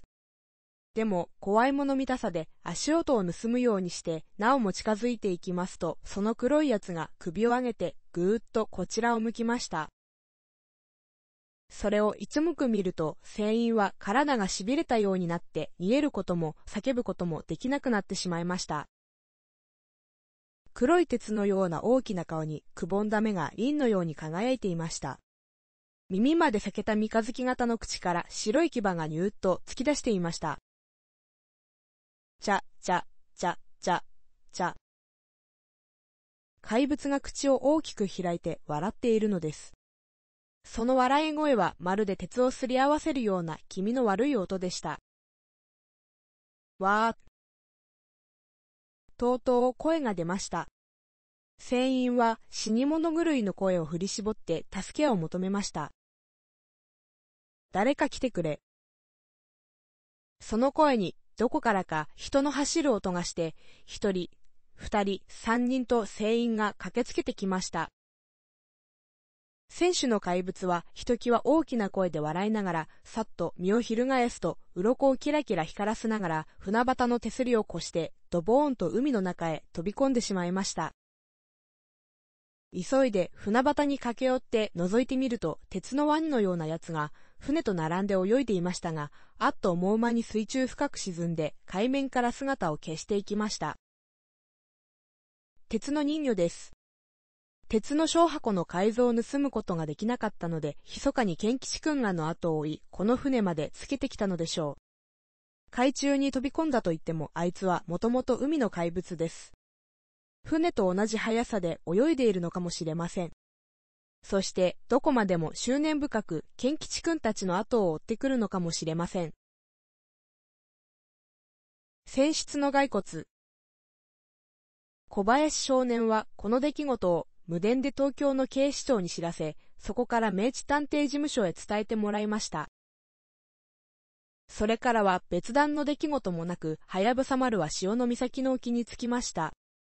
宮田さんの手に入れた海図には、太陽丸の沈んだ位置の緯度と経度がちゃんと記してありますから、その位置の海底を水中探測機で探ればよいのです。水中探測機というのは船から超短波を発してそれが海底にぶつかって戻ってくる時間がグラフになって紙の上に現れるようになっている機械です。そのグラフの曲線で海の深さがわかるのですが、もし沈没線があれば、そこだけ急に膨らんだ線になって現れるので、それと察しがつくわけです。はやぶさ丸は海図に記してある海面を行ったり来たりして、繰り返し水中探測機のグラフを調べました。そしてその曲線の膨らみが海底の岩屋なんかでなくて沈没線に違いないことを確かめたのです。海面から沈没線の上部まではわずかに30メートルほどでした。これなら近海だけでなく太陽丸そのものも引き上げることができるかもしれません。太陽丸の船長が正しい沈没の位置を隠していたばっかりに貴重な金塊や鉄材が20年も海底に眠っていたのです。沈没船の位置がわかるといよいよ潜水ヨットを潜らせてみることになりました。金塊が太陽丸のどこに積んであったかは船長の遺言書にも書いてありませんので、それを探すだけでも大変です。ですからすぐに金塊を引き上げるわけではなく、まずその沈没船が果たして太陽丸かどうかを調べるための潜水です。その日は空が青々と晴れ渡った良い天気で風もなく波もなく、潜水にはもってこいの日和でした。サルベージ会社の人たちは二人の屈強な潜水ヨットを選び出してゴムの潜水服を着せ、真鍮の潜水兜をかぶせてやり、兜の中へ空気を送る早期エンジンの用意をしました。二人の潜水ヨットは、はやぶさ丸の外側に取り付けてある直立の鉄はしごを降りて、タコのお化けのような丸い頭を振りながら、命綱とゴムホースのような早期管と、それに巻きついている電話線を引きずるようにして、冷たい水の中へ入っていきました。船の上では船長や汽船会社の人たちや、この引き上げ作業の団長である宮田さんなどに混じって、賢吉少年と小林少年とが海中に異様な姿を沈めていく潜水ヨットたちをじっと見守っていました。二人の潜水ヨットは右手には何かをこじ開けるための鉄棒のようなものを持ち、左手には暗い沈没船の中を照らすための水中電灯を下げていました。潜水ヨットたちは足の裏につけた大きな鉛の重りや胸に下げた鉛の重りの力でぐんぐん水の中を沈んでいきます。沈むにつれて下の方から巨大な船体が見えてきました。20年も経っているので水の中のゴミが積もり、そこから海藻側へ、また貝殻がいっぱいついていて鉄の船というよりは海の底の大きな岩山のように見えるのでした。船体は30度ぐらいに横に貸し入で沈んでいました。甲板が急な坂のように傾いているのです。二人の潜水ヨットが降りたのは沈没船の船首に近いところでした。彼らは船首の外側にたどり着いて鉄棒で貝殻などを削り取り、水中電灯を振り照らして、船の名が書いてある場所を探しました。そして難なくそれが太陽丸に違いないことを確かめたのでした。それから二人は傾いた甲板をよじ登るようにして、八甲板から船の中へ降りる出入り口を探しました。それも時期見つかったので、二人はそこから狭い階段を降りて、下の船室へ入っていきました。その鉄の階段にも一面に貝殻がくっついているので、まるで岩の洞穴の中へでも入っていくような感じです。階段を降りたところに広い部屋がありました。いや、部屋というよりは大きな洞穴です。傾いた床には20年のゴミがたまり、そこから人間の胸までもあるような長い昆布のような海藻がいっぱい生えていて歩くこともできないほどです。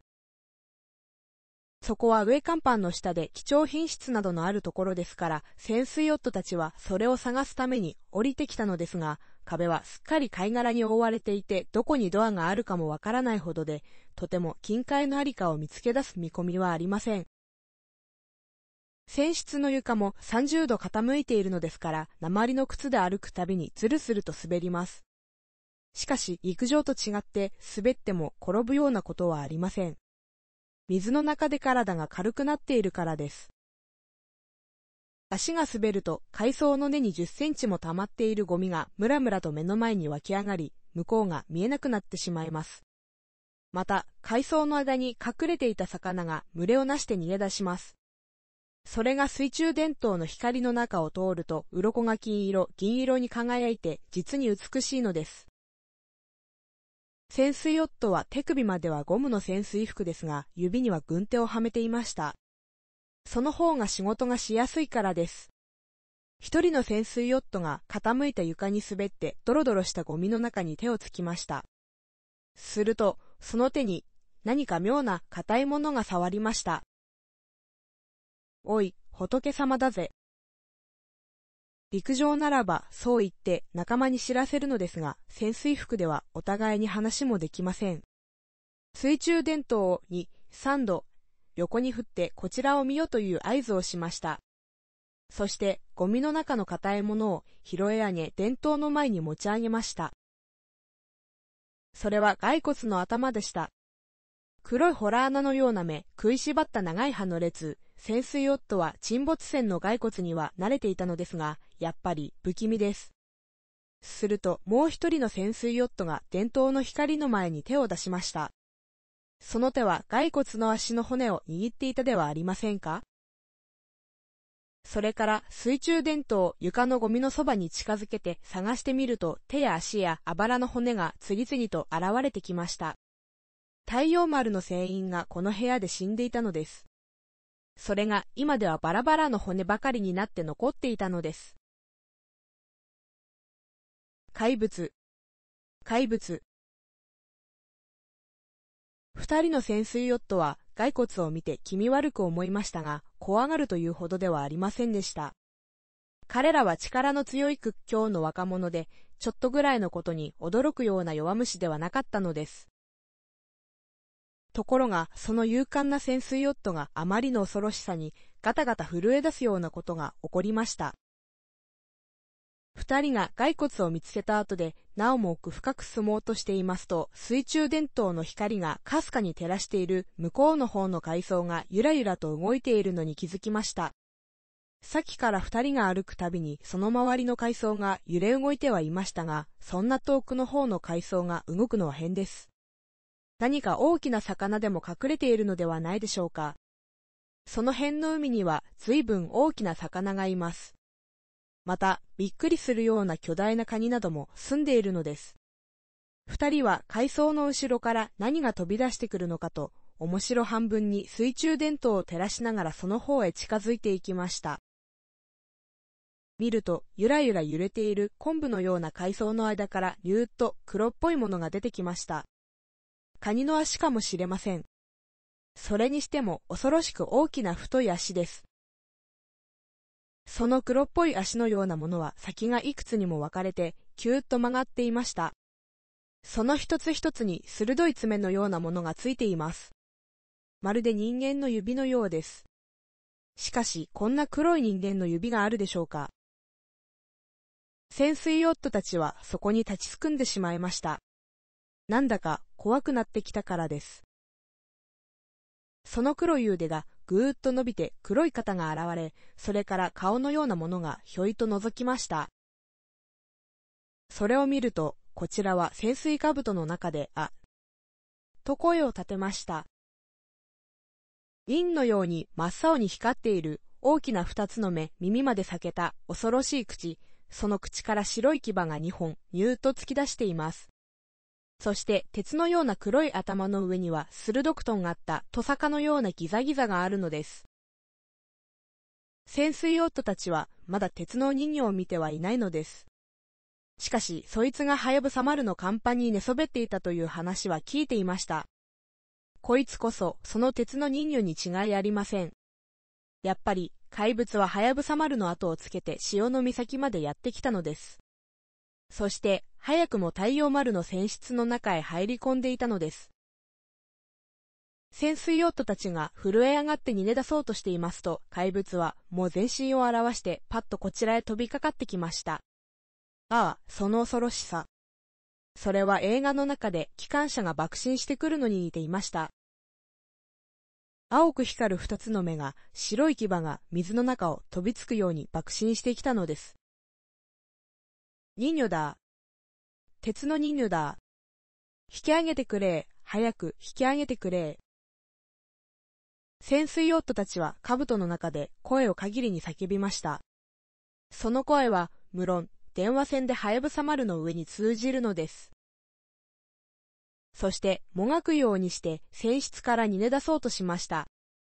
怪物はその後ろから恐ろしい手を伸ばして迫ってきます。逃げ遅れた一人の潜水夫はあっという間に足をつかまれました。鋭い五本の爪がぐっと潜水服に食い込んだのです。もう死に物狂いでした。右手の鉄棒を振り上げて、めちゃくちゃに怪物を叩きつけ、もがきにもがいて、やっと足を離しました。そして、二人とも、静室からハッチへと浮き上がることができたのです。怪物はなぜか、そこまでは追いかけてきませんでした。魚型先行艇潜水ヨットたちがはやぶさ丸に帰って怪物のことを報告しますと、船の中は大騒ぎになりました。宮田さんをはじめ、主だった人たちが急いで船長室に集まり相談を始めました。やっぱりこの船についてきたのですね。無論金塊を盗み出すつもりでしょう。何とかしてそれを防がなければなりません。宮田さんが青ざめた顔で心配そうに言いました。すると船長もうなずいて、こんな怪物は我々の手ではどうすることもできません。場合によっては海上自衛隊の応援を頼まなければなりますまい。海の中へ大砲でも撃ち込んで殺してしまうほかはありません。いずれにしても無電で本社へ相談します。そして大阪から応援隊を送ってもらいます。すると、その席にいたサルベージ会社の技師が口を開きました。それにしても時間がかかりますね。怪物はもう金塊のありかを探し出したかもしれませんよ。そして盗み出されてしまったらもうおしまいです。船長あれを使ってみたらどうでしょう。ダイビング、ベルかね。そうです。あれに僕が入って怪物を見守っているんです。いくら鉄の人魚でもあの機械ならどうすることもできないでしょう。うん、そうでもするほかはないね。じゃあ、君が入ってくれるか。ダイビング、ベルというのは熱い鉄でできた大きな玉のような潜水機です。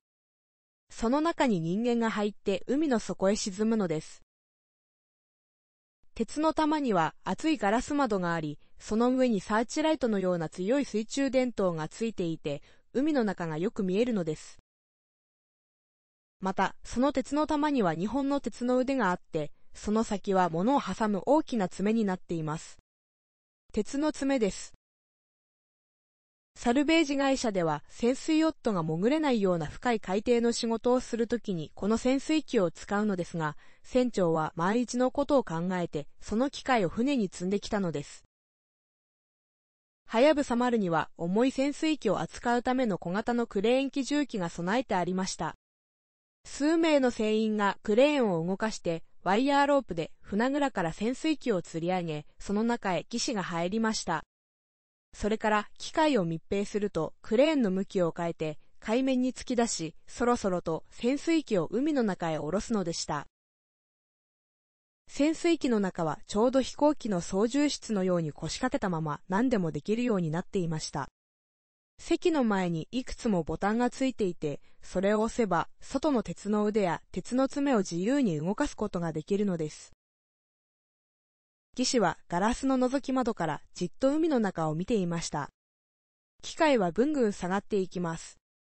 窓の上の強い電灯の光で10メートル先までもはっきり見えます。その光の中を大小様々な魚類が右に左に泳いでいる様は実に美しい景色でした。潜水機は沈没船のハッチの中へは入りませんから、ハッチの入り口のそばまで行って、そこで見張っているつもりなのです。窓から見ていると海底の沈没船がだんだん大きくなってきます。つまり、こちらがその方へ近づいていくのです。おや、恐ろしく大きな魚だぞ。義士は思わず独り言を言いました。伝統の光も届かないずっと向こうの方からクジラの子供とでも言うようなでっかい魚がこちらへやってくるのが見えたからです。この辺にもクジラが来ないとは言えませんが、どうもクジラとも違っていました。それにおかしいのは目が恐ろしく大きくて、自動車のヘッドライトみたいにギラギラ光っていることです。まるでメダカのように目が大きくて、しかもメダカの何万倍もある図体をしているのです。こんな変な魚が本当にいるのでしょうかそんなことを考えているうちに、その巨大な魚はだんだんこちらへ近づいてきました。目が大きいばかりでなく、口が5月の堀の鯉のようにまん丸です。そしてその口が少しも動かないのです。目の後波、ますます強くなってきました。まるでサーチライトのようにその前の水がパッと明るく照らされているではありませんか？巨大な魚の背中には透き通った空気袋のようなものがついています。平べったい袋です。だ、や、あれは魚じゃない。先行艇だ。魚型先行艇だ。騎士は思わず、頓強な声で叫びました。それは鉄でできていたのです。二つの目と見えたのは、先行艇のヘッドライトだったのです。あの丸い口は、ひょっとしたら、大砲の筒先なのかもしれません。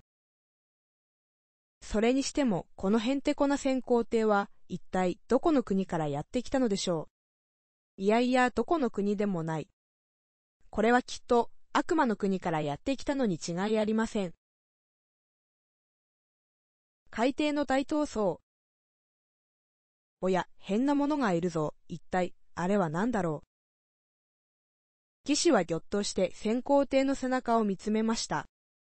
前についている二つの目玉の光があまり強いので背中の方はよく見えなかったのですが、そこに恐ろしいものがうずくまっていたのです。鉄の人乳です。鉄の顔、鉄のとさか、耳まで裂けた口から二本の牙がニューッと突き出していて、体は湾のような怪物です。そいつが魚型先行艇の背中にヤモリのようにぺったりくっついて、青く光る目でじっとこちらを睨んでいるのです。騎士は鉄の玉の中には行っているのですから、どんな怪物がやってきても平気なのですが、しかし、彼は鉄の人魚の姿の恐ろしさにゾーッとして体がすくんでしまいました。魚型先行艇はすぐ目の前に来ていました。向こうは自由自在に動けるのに、こちらははやぶさ丸からロープで吊り下げられているのですから逃げることもできません。騎士は潜水機の中にある電話機を取って叫びました。早く引き上げてくれ。恐ろしい先行艇がやってきた。その背中に鉄の二乳が乗っている。何、先行艇だって？それは本当か？はやぶさ丸の船長の声が聞き返してきました。そうだ。魚の形をした恐ろしい先行艇だ。もう目の前に近づいてきた。危ない。早く、早く引き上げてください。すると、はやぶさ丸では引き上げ作業を始めたらしく、潜水機は少しずつ上の方へ登っていきます。その時、ぎょっとするようなことが起こりました。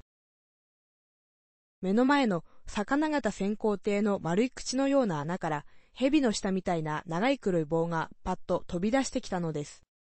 その棒の先は二つに割れていて、物を挟むようになっていました。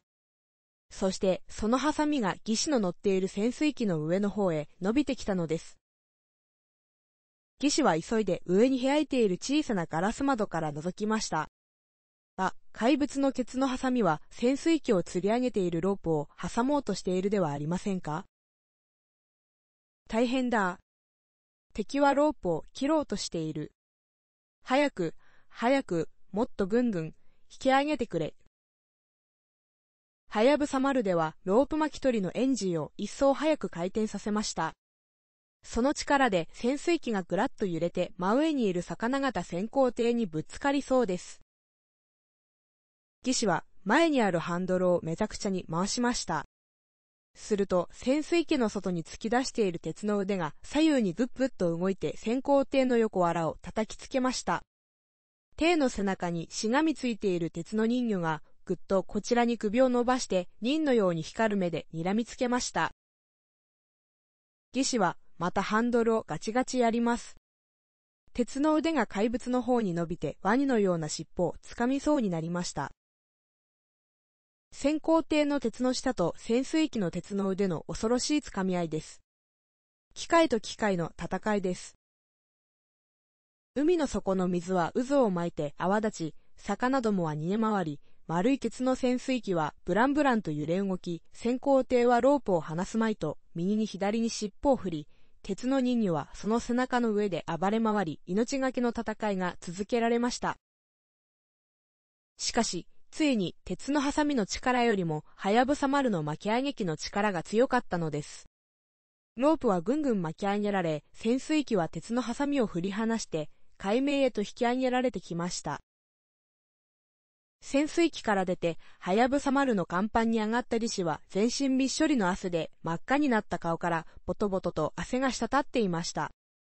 彼は一休みすると船長や賢吉くんのお父さんなどに海底の戦いの模様を詳しく話して聞かせました。敵が先行艇を持っていようとは思いませんでした。鉄の人魚にはたくさんの仲間があるのです。これではとてもかな一個ありません。こちらは自由の利かない潜水機しかないのに敵は海の底を走り回る先行艇を持っているのです。いよいよ爆雷でも投げ込むほかはないですね。もう海上自衛隊の応援を頼むしかありません。船長は大阪の死者へ無電を打って事の次第を知らせました。するとそれに応えて死者からみんなをびっくりさせるような無電が返ってきたのです。明智探偵有力な武器を持ち、今朝出発した午後5時そちらに行くはず。ああ、明智探偵が来るというのです。しかも有力な武器を持ってやってくるというのです。人々は小躍りして思わず万歳を叫びました。明智探偵来たる。午後5時といえばもう1時間余りのちです。みんなはそのまま甲板に立ち尽くして明治の乗っている船が来るのを待っていました。有力な武器って一体何だろうね？いくら名探偵でも敵が魚型先行艇を持っているとは知らなかっただろうから、あれに勝てるような武器を持ってくるかどうか心配だね。船長は義士に向かってそんなことを囁いていました。無電で問い合わせても武器のことは何も答えないのです。こちらでは小林少年と賢吉少年が明るい顔で話し合っていました。小林さん、さすがは明治先生だね。昨日、この船から君が撃った無電で鉄の人魚がついてきたことを知って、先生はすぐに大阪へ来られたんだね。きっと飛行機だよ。そして今朝早く大阪港を出発されたんだね。それにしても有力な武器って何だろう？僕も知らないよ。先生はいつも僕たちよりもずっと先のことを考えていらっしゃる。だから、この事件を引き受けられた時にちゃんと武器の用意ができていたのかもしれないよ。もう大丈夫だ。先生が来てくだされば、もう閉めたもんだよ。小林くんは嬉しそうにニコニコしているのでした。やがて、遥か水平線の彼方に一筋の煙が見え、双眼鏡を覗くと、そこに白い汽船の小さな姿が現れました。商船会社のカモメ丸という快速船です。それは潮の岬を通る定期客船ですが、非常に速力の速い船なので、明治はそれに乗ってくるということが無電で分かっていたのです。船体を真っ白に塗ったカモメ丸はみるみる大きくなってきました。はやぶさ丸の甲板の人たちはハンカチを振り、万歳を唱えてこれを迎えました。美しいカモメ丸は50メートルほど向こうの海面に止まり、ボートが降ろされています。向こうの甲板にも先客たちが鈴なりになってこちらを見ています。きっと近海引き上げの噂を聞いていたのでしょう。降ろされたボートは4人の水夫がオールを漕いで一直線にこちらへ近づいてきました。万歳の声がはやぶさ丸の甲板にどよめきました。ボートの中にすっくと立っているのは我らの名探偵明智小五郎でした。背の高い体によく似合う黒の背広、もじゃもじゃ頭を風になびかせ、右手を高く上げて挨拶しています。おや、あれは何だろう？海坊主みたいなものがやってきたぞ。誰かが怒鳴りました。見ると、カモメ丸の船尾の方から黒い大きな怪物がボートの後を追ってこちらへやってくるではありませんか？背中に大きなコブのあるクジラのような黒いやつです。よく見ると背中のコブの上に細い鉄の棒のようなものが立っています。小林くんが叫びました。ケンちゃん、あれペリスコープだよ。潜航艇の中から海の上を見る潜望鏡だよ。だからあれは潜航艇なんだ。わあ、素敵。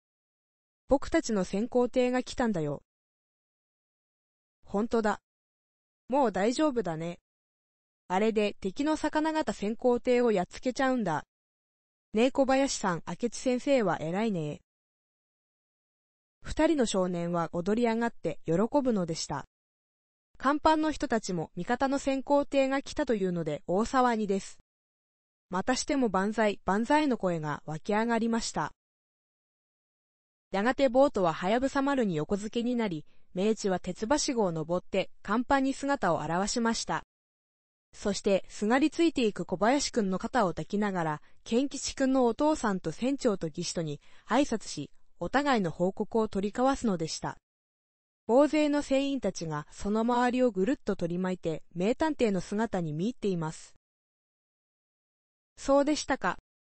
敵も先行艇を持っていたのですか？僕はそこまでは考えなかったけれども、鉄の人形をやっつけるのには先行艇がなくてはダメだと思ったので、最初からその用意をしていたのです。今日本には昔海軍が使ったような先行艇はないけれども、民間で作った海底遊覧用の小型先行艇が東洋汽船会社に保管されていることを知ったので、それに手入れをして、いつでも動くように用意させておいたのです。そういう先行艇ですから水雷を発射することはできませんが、形は海軍の先行艇をそのまま小さくしたようなものです。敵を脅かすのには十分です。その先行艇は神戸から大阪湾に回してあったので、それをかもめ丸に引かせて、ここまで持ってきたのです。それからしばらく相談した後で、明治は次のような案を出しました。あの先行艇には腕のある操縦士が二人乗っています。やり方をよく教えた上、あれを太陽丸のそばへ沈めるのです。そして敵の魚型先行艇を遠くの方へおびき出します。30分ぐらいは必ず太陽丸から遠ざけておきます。我々の先行艇には無電装置がありますから、刻々その報告を受けることができます。そしてその30分の間にこの船から潜水ヨットが潜り、太陽丸の中を探して近海のありかを探すのです。30分ずつに区切って何度でもそれを繰り返すことができます。そこで、ともかくその方法でやってみることになり、操縦士を呼んで詳しく指図をした上線工程を沈めることになりました。いよいよ明治の先行艇と敵の魚型先行艇との戦いが始まるのです。ダンダラ海人太陽丸の沈んでいる海底には魚型先行艇が悠々と泳ぎ回っていました。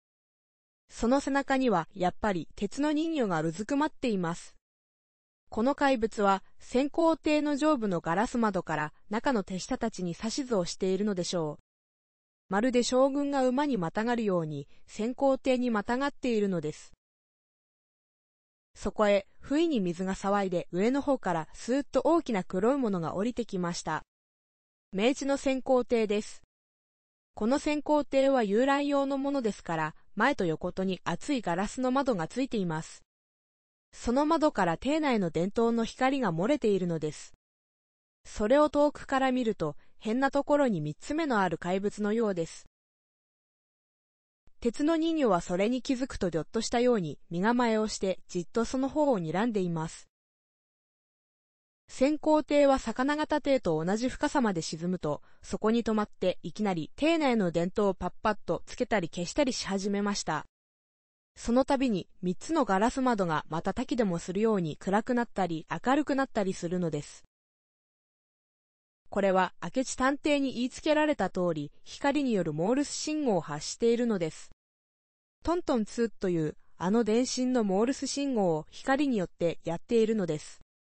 怪物団の方にもモールス信号ぐらいわかる奴がいるだろうと、それを試しているのです。すると、魚型先行艇の二つの目がパチパチと瞬き始めました。モールス信号がわかるという答えです。そこで、こちらは本当の通信を送りました。すぐにここを立ち退け、立ち退かなければ、水雷を発射するぞ。水雷なんか持っていないのですが、こちらは海軍の先行艇と同じ形ですから、そういえば敵は驚くに違いないのです。案の定、魚型先行艇は動き出しました。太陽丸のそばを離れてどこかへ逃げていくのです。こちらはすかさずそれを追っかけます。2隻の小型先行艇は海底競争です。2つ目玉の小クジラを追う3つ目の怪物、それの通過する道、海水は逆巻き、魚どもは跳ね飛ばされ、長い海藻は嵐に吹きつけられたように乱れ沢に、凄まじい海の底の追っかけっこです。明治の方の先行艇は何と言っても遊来用ですから、それほどの速力はありません。残念ながら魚型艇の速力にはかなわないのです。だんだん間が隔たっていくばかりでした。そして五分ほど追っかけているうちに相手を見失ってしまいました。相手は二つ目玉のようなヘッドライトを消したのです。そして海の底の暗闇に紛れてどこかへ見えなくなってしまったのです。こちらの操縦士たちはなんだか敵がパッとかき消すように見えなくなったような気がしました。忍術でも使ったような感じでした。しかしともかく敵を追っ払ったのですから、こちは太陽丸の周りをぐるぐる回って警戒さえしていればよいのです。そこで、はやぶさ丸の明治探偵に無電を打ちました。敵艇も鉄の人魚も逃げ去った本艇派付近の警戒にあたるすぐ潜水砲を入れよう。その無電を受けたはやぶさ丸では、ちゃんと用意をして待っていた一人の潜水ヨットをすぐに太陽丸へと潜らせました。1番、腕利きの潜水ヨットです。右手に鉄棒、左手に水中電灯を下げた潜水ヨットは、一度入ったことのある性質へと、ハッチを下っていきました。鉄の人魚は逃げ去ったというのですから、何も怖いものはありません。近海のありかさえ探し出せばよいのです。水中電灯を振り照らしながら広い船室の中をあちこち見回っていますと一方の壁に大きな四角な穴が開いているのに気づきました。おや、と思ってよく見ると貝殻がいっぱいついていてよく見分けられなかったのですが、そこにドアがあってそれが開いていたのです。一人でに開くわけはありません。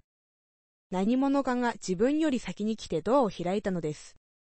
潜水ヨットはそこまで考えると、ひょっとして立ちすくんでしまいました。鉄の人魚はもういないはずです。では何者が開いたのでしょう？それとも、もしかしたら怪物団のやつが、ここを開いてとっくに金塊を盗み出してしまったのではないでしょうか？いずれにしても一大事です。彼はそれを確かめるために電灯を振りかざして、そっとドアの向こうを覗いてみました。すると、その小さい部屋の中にぼんやりと光っているものがあるのです。水中電灯が部屋の床に置いてあるのです。はっとして、なおよく見ると、お、そこには実に気味の悪い変な奴がうごめいていたではありませんか？そいつは人間の形をしていました。しかし、普通の人間ではありません。体中に太い真っ黒な島があるのです。白黒だんだら染めの怪物です。美しい島のあるタイがいますね。あれとそっくりのだんだら染めの怪人です。顔は人間ですが、まるでゴリラみたいな恐ろしいやつです。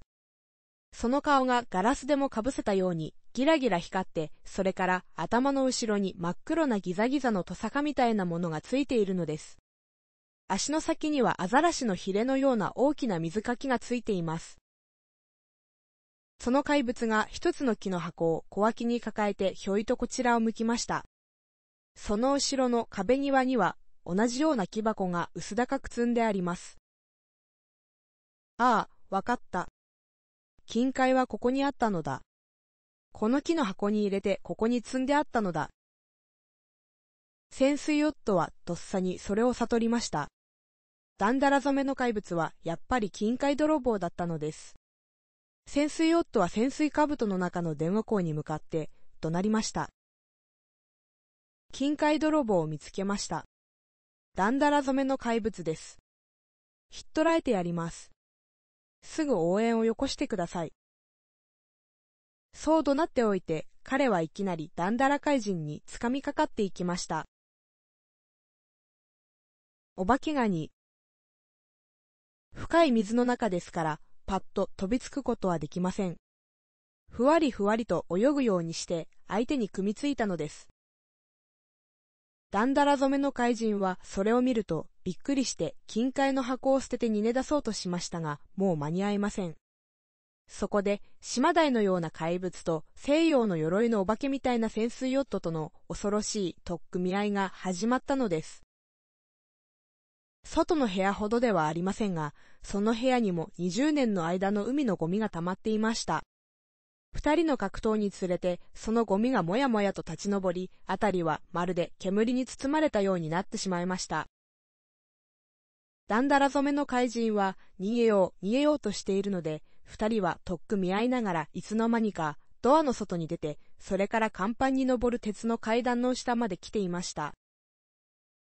その辺には昆布のような大きな葉の海藻がたくさんは得ています。逃げ遅れた魚も泳いでいます。その中で鎧のお化けとダンダラ染めとが横になったり、逆さまになったりして取っ組み合っているのです。陸上の喧嘩と違って海の底の格闘は映画のスローモーションのようにノロノロした実に薄気味悪いものでした。階段の下まで来るとダンダラ染めの怪人がにわかに勢いよくなりました。そしてまるで魚のようにピチピチと跳ね回るものですから、潜水ヨットの掴んでいた手が滑って離れてしまいました。すると怪人は足の先についている大きな水かきでさーっと水を蹴ってみるみる階段の上へ浮き上がっていきました。潜水ヨットは重いなまりのついた靴を履いているのでとてもその真似はできません。一段ずつ階段を登っていくほかはないのです。残念ながらとうとう敵を逃がしてしまいました。潜水ヨットは大急ぎで元の船室に戻り、水中電灯を持って甲板に上がりました。すると太陽丸の大きな船体から少し離れた海底を白い光がぶんぐん向こうの方へ動いているのが見えました。水中電灯です。怪人は水中電灯を持たないで逃げたのですから、それは怪人ではありません。一体何者でしょう？ああ、わかった。僕の友達が後から潜ってきたんだ。そして怪人を見つけて追っかけているのだ。潜水ロッドはそう思ったので、急いでそちらへ近づいていきました。さっき潜水兜の中の電話で、はやぶさ丸に応援を頼む。と呼びかけておいたので、もう一人の潜水ヨットが潜ってきたのです。怪人は伝統がないので方角がわからなくなり、コンブリンの中でまごまごしているうちに二人の潜水ヨットに挟み撃ちになってしまいました。怪物の目玉のような水中電灯が右と左からぐんぐん迫ってくるのです。怪人はやっとのことでコンブリンを抜け出し、ゴツゴツした岩ばかりの海底を逃げていきます。二人の潜水ヨットは5メートルほど後からそれを追っかけてくるのです。怪人のダンダラ染めの姿が大きな岩陰に隠れました。二人の潜水ヨットはそこを急ぎましたが、陸上のように早くは走れません。やっと岩陰にたどり着いてみると、そこにはもう何もいませんでした。どこへ逃げたのかと水中電灯を振り照らして四方八方を透かしてみましたが、どこにも敵の姿がありません。たったあれだけの暇に遠くへ逃げられるはずはないのです。と言ってこの大岩の他には隠れるような場所もありません。二人の潜水ヨットは変だなぁ。というような身振りをして潜水兜の顔を見合わせました。二人がなおも辺りを探していますと大岩の根元に何かもぞもぞと動いているのに気がつきました。青黒い岩がうごめいているのです。二人は驚いてその方へ水中電灯を差し付けました。いや、岩ではありません。岩とそっくりのなんだか得体の知れない大きなものが岩の根元を離れてこっちへやってくるのです。あ、カニだ。一人の潜水ヨットが兜の中で思わず叫び、その声がはやぶさ丸の受話器にけたたましく響きました。岩と見えたのは一匹の巨大なカニでした。人間の2倍もある恐ろしいカニでした。1メートルもあるような大きなハサミをぐっと持ち上げて開いたり閉めたりしながら、8本の足でごそごそと張ってくるのです。ゴムまりほどの白っぽい目玉がニューッと飛び出しています。その目玉をぐるぐる回しながら近づいてくるのです。わーっというような叫び声が二重になって、はやぶさ丸の受話器に響きました。二人の潜水ヨットが一度に叫んだのです。そしていきなり逃げ出したのです。お化けガニは逃げる潜水ヨットたちを、6メートル追っかけましたが、何を思ったのか、そのまま向きを変えて向こうの方へ遠ざかっていきます。そして闇の中へ溶け込むように見えなくなってしまいました。二人の潜水ヨットは潜水兜の中の電話ですぐに引き上げてくれるように頼みました。はやぶさ丸の甲板に戻ると、みんなに取り囲まれて、海底の出来事を詳しく話しましたが、それを聞いた名刺探偵は国病をかしげながらこんなことを言いました。そんな大きなカニがこの辺にいるはずはない。ひょっとしたら悪人の手品かもしれないぞ。カニの衣装をかぶって逃げ出したのかもしれないぞ。その衣装は薄い金属かビニールでできているのかもしれない。そしてそれを小さく折りたたんで岩の穴の中に隠しておいたのかもしれない。え、すると、あのカニの中に金塊泥棒が入っていたのでしょうか。潜水ヨットの一人がびっくりして言いました。どうもそうとしか考えられない。岩の影に隠れたまま消えてしまうなんて人間技ではできないことだからね。金塊泥棒の怪人団は魔術師だよ。いよいよその本性を表してきたんだ。面白くなってきたね。僕はこういう魔術師みたいな相手でないと張り合いがないのだよ。名探偵はそう言ってもじゃもじゃの頭を指でかき回しながらにっこり笑うのでした。飛び散る金塊。その頃はもう西の空が夕焼け雲で真っ赤に染まっていました。太陽は目に見えて沈んできます。やがて東の空が真っ暗になり、それが西の方に広がっていって、とうとう夜が来ました。しかし敵に近海のありかが分かったとすると、夜だからといって休んでいるわけにはいきません。明智探偵と船長と賢吉少年のお父さんの宮田さんなどが額を集めて相談しました。そして夜でも構わないから大きな仕掛けでいっぺんに金塊を引き上げてしまおうということになりました。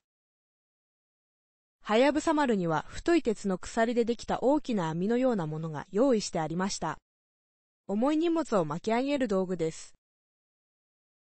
それにワイヤーロープをくくりつけて、クレーンで海の底に下ろし、金塊の箱を鉄の鎖の網に入れて引き上げようというのです。それが決まると敵の魚型艇を警戒している先行艇に無電で一度浮き上がるように伝えました。そして十分用意をした上で鉄の網と一緒にもう一度沈み引き上げが終わるまで警戒に当たらせるわけです。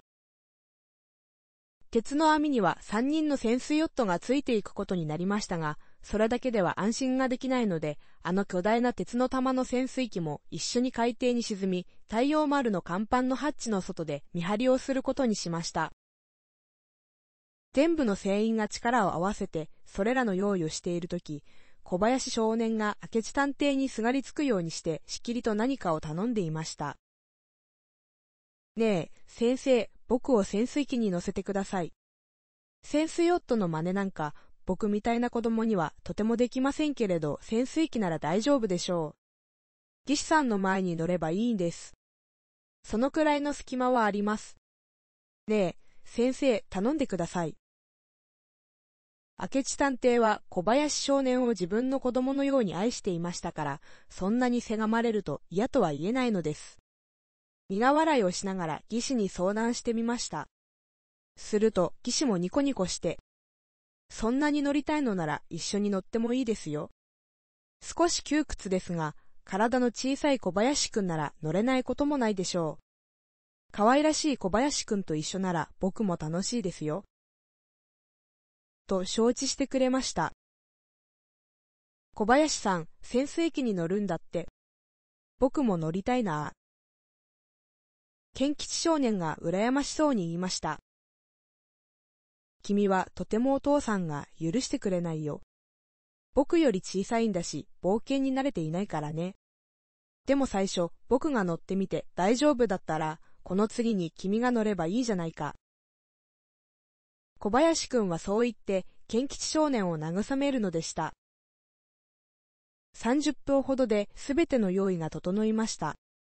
まず先行艇が沈んで太陽丸の周りを警戒し、次に潜水機が沈み、最後に鉄の網と3人の潜水ヨットが沈んでいきました。小林くんは嬉しくてたまりません。義士の膝に抱かれるようになって体を小さくして前のガラス窓を一心に覗いていました。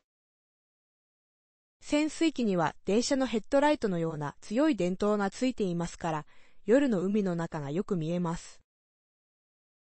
窓の外を魚が泳いでいます。寒天みたいな透き通ったクラゲがふわふわしています。それらがスーッと上の方へ上がっていくのです。つまり潜水機の鉄の玉がぐんぐん下がっていくのです。ちょうどエレベーターに乗っているような気持ちです。ほら、あれが太陽丸だよ。でっかいだろう。義士の言葉に下を見ますと、貝殻の一杯についた巨大な船体が横たわっていました。それがスーッと近づいて潜水機は太陽丸のハスになった甲板のハッチの近くに止まりました。向こうの方を目玉のように光るものがスーッと通り過ぎました。あれ、何です？自動車のヘッドライトみたいなもの。先行艇だよ。ああして太陽丸の周りをぐるぐる回っているんだ。いつ？敵の魚型先行艇が現れるかもしれないからね。そのうちに空中からいや海中の上の方から奇妙なものがスーッと下がってきました。鉄の網とそれに取り付いた3人の潜水ヨットです。鉄の網は甲板のハッチのすぐそばに下ろされ、3人の潜水ヨットは水中電灯を振ってこちらへ挨拶を送りながら次々とハッチの中へ降りていきました。降りていった後には3本のロープと早期管が長い藤鶴かなんかのようにゆらゆらと揺れていましたが、しばらくするとその一本がピンと張り切って、つまり上から引き上げられて、一人の潜水ヨットが四角な木の箱を抱えてハッチから出てきました。そしてその箱を鉄の網の中へ入れました。入れておいて、またハッチの中へ戻っていくのです。すると、次の潜水ヨットが現れ、同じような箱を鉄の網に入れ、戻っていくと、また次の潜水ヨットという具合に3人の潜水ヨットが鉢から出たり、入ったりしているうちに、鉄の網の中には、だんだん箱の数が増えていきました。近海の箱は全部で30個ありましたが、一度には無理なので、半分の15個を鉄の網に入れると、潜水ヨットが電話で知らせて引き上げることにしました。15箱で膨らんだ鉄の網はそれを下げている太い鉄のロープがピンと張ってゆらゆらと引き上げられていきます。3人の潜水ヨットはハスになった甲板に立ってそれを見上げています。ところが鉄の網が10メートルほど上がった時です。潜水ヨットの一人が飛び上がるような変な格好をして鉄の網の上の方を両手で指さしているのです。すると、後の二人の潜水ヨットも同じように両手を上げて気違いのように踊り始めました。おや、変だぞ。もしもし、潜水機を12メートルほど引き上げてください。鉄の網のロープがどうかしたようです。早く上げてください。技師が電話口に怒鳴りました。潜水機がガクンと揺れてスーッと上に上がっていきます。鉄の網を追い越してロープのところに来ました。そのまま鉄の網と潜水機と同じ速度で引き上げてください。電話で言っておいて前のハンドルを動かすと潜水機の窓がロープの方を向き、強い電光がそこを照らしました。あ、カニだ、カニがロープにぶら下がっている。小林くんが思わず叫びました。人間の2倍もあるあのお化けガニです。そいつが鉄の網のロープにすがりついて何かもがもがやっているのです。あ、大変だ。あいつはロープを切ろうとしている。大きなヤスリをノコギリのように動かしている。今度は騎士が叫びました。そして電話口へ。もしもし、潜水機を鉄の網に近づけてください。ロープを切ろうとしている奴がいるのです。こちらは鉄の爪で攻撃します。すーっと、ロープへ近づいていきました。巨大なカニがすぐ目の前にうごめいています。さあ、戦いだ。見ててごらん。今に鉄の爪であいつをやっつけてやるから。騎士は、勇ましく叫ぶと前のハンドルに手をかけました。ギーッという音がして潜水機の横についている巨大な鉄のハサミが動き始めました。カニの背中はすぐ前にあるのです。鉄の爪はその方へニューッと伸びていきました。しかし潜水機そのものが上からぶら下がっているのですから思うようになりません。今一息というところで届かないのです。もっと近づけて、もっと、もっと。電話口に怒鳴りながら技師は歯ぎしりをしてハンドルを動かしています。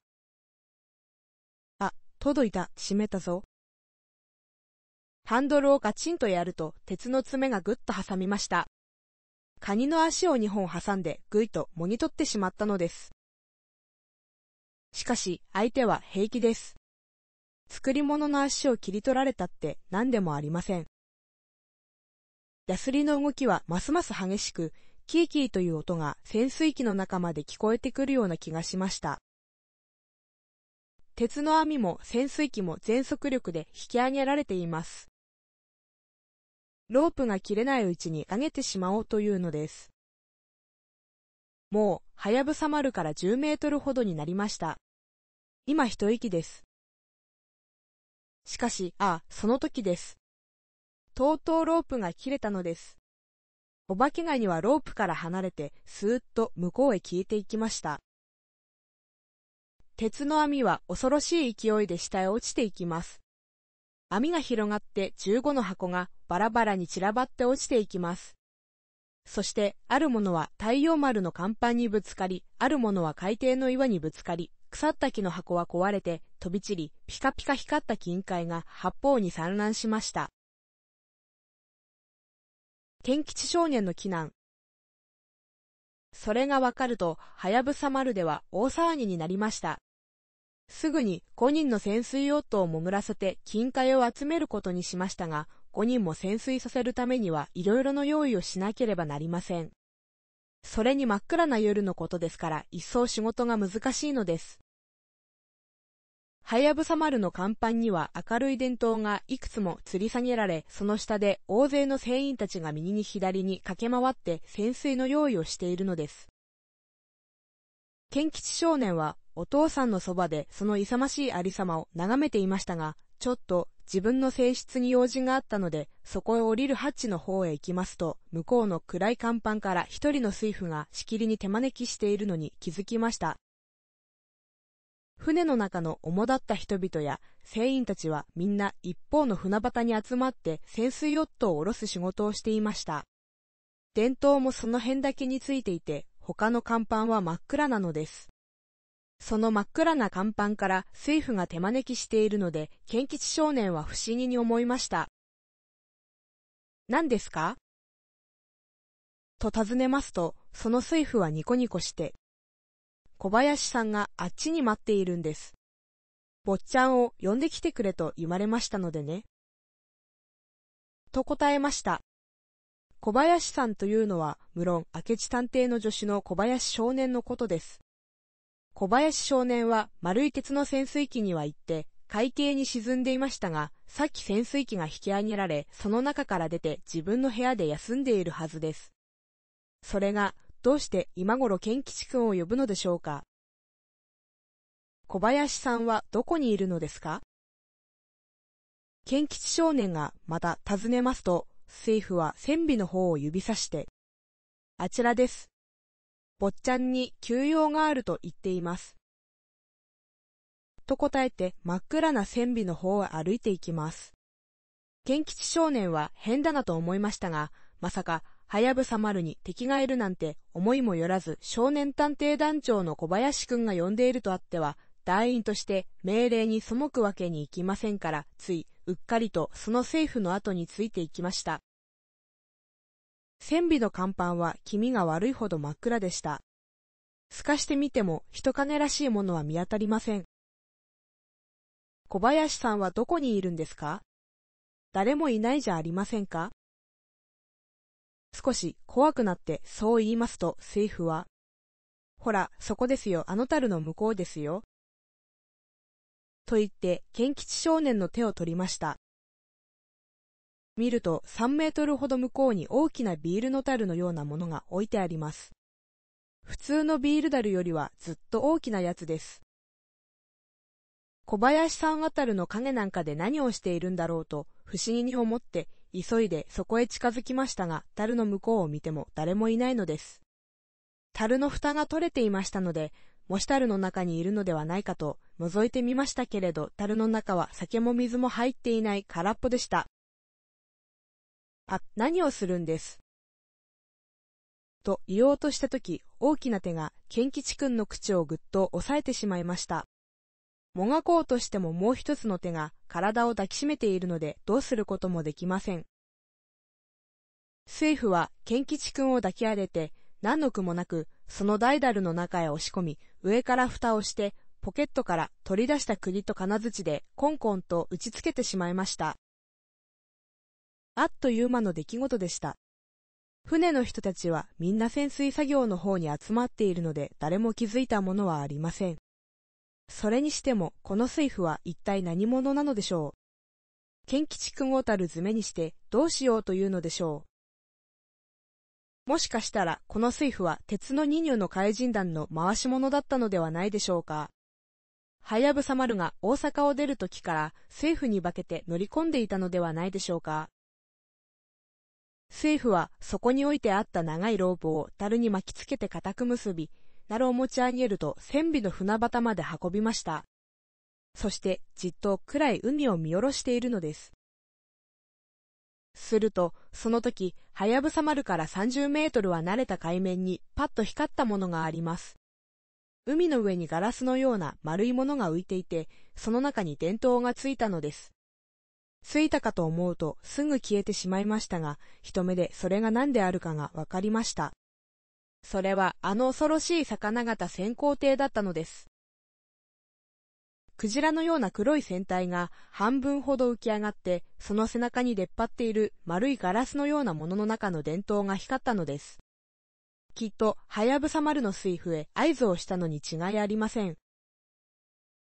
それから実に恐ろしいことが起こりました。水夫は両手でロープを握って、賢吉君を閉じ込めた樽を船旗から海面に下ろしたのです。樽は打ち寄せる波の上にゆらゆらと浮いています。水夫は上着を脱いでシャツ一枚になると、長いロープの一方の端を船旗の手すりに通して、それを持って自分も海面に降りていきました。そして立ち泳ぎをしながら手すりにかけたロープを手繰り寄せ、それを自分の体に巻きつけて静かに泳ぎ始めました。言うまでもなく魚型先行艇を目指しているのです。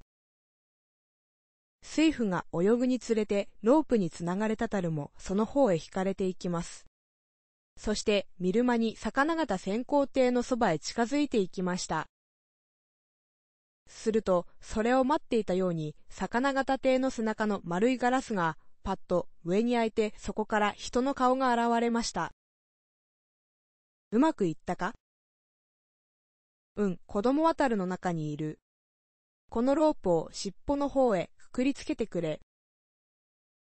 海の中の水夫がそう答えて魚型艇に登りつき、ガラス蓋の入り口から中へ滑り込みました。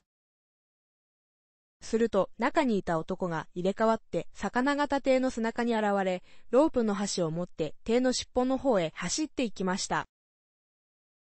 しばらくするとその男が帰ってきました。しっかりくくりつけた。これでもう大丈夫だよ。そう言って、魚型艇の背中の入り口へ滑り込むと、丸いガラスの蓋がパタンと閉まり、魚型艇はそのまま静かに海中に沈んでいきました。町にはロープに引かれた樽が、ぷかぷかと波に漂っているばかりです。洞窟の貝樽に詰め込まれた賢吉少年はあまりの驚きにしばらくは気を失ったようになっていましたが、やがて自分の入っている樽がゆらゆらと激しく揺れていることがわかりました。きっと海へ投げ込まれたんだ。そして波の間に間に漂っているんだ。と悟りました。あ、なんという心細い身の上でしょう。樽には少しの隙間もないのですから、泣いてもわめいても誰にも聞こえるはずはありません。お父さん、お母さん、小林さん。聞こえないと分かっていても、一人でに口から出てくるのです。賢吉君は幾度も幾度も、声を限りに叫びました。そのうちに突然、樽の揺れ方が変わってきたのに気づきました。今まではゆらゆらと漂っていたのですが、それが急に一方へ走り出したような感じがするのです。波を乗り越え、恐ろしい勢いで進んでいるのです。なんだか非常なスピードの快速艇に引っ張られているような気持ちです。引っ張られるにつれて樽はくるくる回るのです。賢吉君の体も上を向いたり横を向いたり絶えずくるくると回っています。その度に体のどこかが樽にぶつかるので、その苦しさと言ったらありません。賢吉君はこんな苦しい思いをするぐらいなら早く死んでしまった方がいいと思いました。そのうち体がむちゃくちゃに揺れるだけでなくなんだか息が苦しくなってきました。水も染み込まないほどしっかり蓋をした樽ですから空気が悪くなってきたのです。つまり酸素が少なくなって息苦しいのです。このまま長くたるの中にいたら本当に死んでしまうでしょう。それからどれほど時間が経ったのかもう無我夢中でした。ふと気がつくと樽が少しも動かなくなっていました。今まで揺れに揺れていたのがぴったり止まったので耳がジーンとして気味が悪いほど静かになりました。すると、またたるがスーッと持ち上げられでもしたように動いて、それからゆらゆらと揺れましたが、波に浮いているのと違った感じでした。それから頭の方でガン、ガンと恐ろしい音がしたかと思うと、さーっと冷たい空気が流れ込んできました。樽の蓋が開かれたのです。賢吉くんはその空気を吸ったとき、実に美味しいと思いました。空気がこんなに美味しいものだとは夢にも知りませんでした。誰かが賢吉くんを抱き上げて樽の外に出してくれました。見ると、それは服は違っていましたけれど、さっきの悪者の水夫でした。それよりもびっくりしたのは今いる場所です。そこは山の中のホラー穴のようなところでした。でこぼこの黒っぽい岩のトンネルのような感じです。賢吉君は泥棒の岩屋の中へ連れ込まれたのではないかと思いました。逃げ出すことは無論できません。そばに悪者の水夫が頑張っているし、それに体がくたくたに疲れてしまってもう何をする元気もないのです。賢吉君は樽のそばへうずくまって、ただぼんやりと辺りを眺めるばかりでした。その時です。深いトンネルのようになったホラー穴の向こうからちらっと変なものが見えました。薄暗いホラー穴の中ですから、はっきりはわかりませんが、なんだかちょっとするような恐ろしいものでした。びっくりしてその方を見つめていますと、その変なものの姿が岩角からぬーっと現れてきました。賢吉君はあっと叫んで思わず逃げ出そうとしました。すると、水夫が恐ろしい力で賢吉くんの肩を押さえて、そこへ座らせてしまいました。うふふふ、君を取って食うわけじゃない。じっとしてればいいんだ。彼らは急ぎの用事があってこれから出かけるんだからね。そのものがもう全身を表してこっちへ近づいてきます。それはあの恐ろしい鉄の人魚でした。人間と同じぐらいの大きさの鉄の鱗の怪物、頭から背中にかけて鉄のトサカのような鋭いギザギザがあり、目は青く光って、口は耳まで裂け、そこから日本の牙がニューッと覗いています。その怪物が鉄の手で岩の上を張ってくるのです。ワニのような長い尻尾がついていますが、その尻尾の下に短い足のようなものがあり、二本の手とその足とで自由に這い回るのです。ケン吉君は岸壁にぴったり身をつけて怯えきって怪物を見ていましたが、怪物の方ではケン吉君など見向きもせず、その前を通ってホラー穴の外へ出て行ってしまいました。すると、またホラー穴の奥に何か物の動く気配がしました。はっとしてその方を見ますと、さっき出て行ったのと全く同じ鉄の人魚がもう一匹のっそりとそこから出てきたではありませんか？いや、一匹ではありません。次から次と同じ怪物が、まるでアマゾン川のワニの行列のように、ぞろぞろと出てくるのです。ケン吉君はあまりのことに気が遠くなって、それを数えることもできませんでした。本当は8匹の鉄の人魚が、ケン吉君の前を通って、ホラー穴の外へ出て行ったのです。まるで恐ろしい夢を見ているようでした。鉄の人魚は一匹だと思っていたのに、こんなにたくさん、ホラー穴の中に隠れていたのです。そして、ぞろぞろとどこかへ出て行ったのです。一体何事が起こるのでしょう？あの怪物どもは、もしや、はやぶさ丸の近海引き上げ作業を邪魔しに出かけたのではないでしょうか。あんなたくさんの怪物が海の中で暴れ回ったら一体どんなことになるのでしょう？ケ吉君はもう、物を考える力もなくなって、ぼんやりしていますと、政府が肩をつついて、さあ、奥へ行くんだ。狩猟がお待ちかねだ。と、妙なことを言いました。狩猟とは一体何者でしょう？ケ吉君はそのまま水夫に連れられてゴツゴツした岩の上をホラー穴の奥へ歩いていきました。曲がりくねったホラー穴をしばらく行くと、にわかにパッと明るくなりました。そこは、ホラー穴が広くなって岩に囲まれた部屋のようなところでした。立派な彫り物のあるテーブルがあり、その上に西洋の食台が置かれ、三本のろうそくが燃えていました。テーブルの横に、これも彫り物のある大きな椅子があって、全身真っ黒の恐ろしい人が腰掛けていました。黒ビロードの頭巾を頭からすっぽりかぶっています。その覆面の木斗甲のところだけが三角型に切り抜いてあり、その穴の中から不気味に光る目がじっとこちらを見ています。体にはやはり黒ビロードのダブダブのマントのようなものを着ていました。これが狩猟なのでしょう。宮田健吉を連れてきました。政府がうやうやしくお辞儀をして言いました。うん、よくやった。やっぱり樽に詰めたのか。真っ黒な怪物が太いしわがれ声で尋ねるのです。はい、はやぶさ丸の水夫に化けて、こいつを樽に詰めて、それから先行艇に縛り付けて、ここまで引っ張ってきたのです。船の奴らは潜水作業に夢中で、誰も気づいたものはありません。よし、よし、うまくやった。もうこれで大丈夫だ。おい、ケン吉くん、何もそんなに怖がることはない。君は大事な人事地だからね。ここで遊んでいてくれればいいのだ。君のお父さんがわしの言うことを承知したら君を返してやるよ。黒い怪物は覆面を三角に切り抜いた口から猫なで声で言うのです。ケン吉君は思い切って聞き返しました。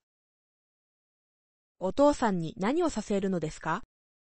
どうしたら僕を返してくれるのですか？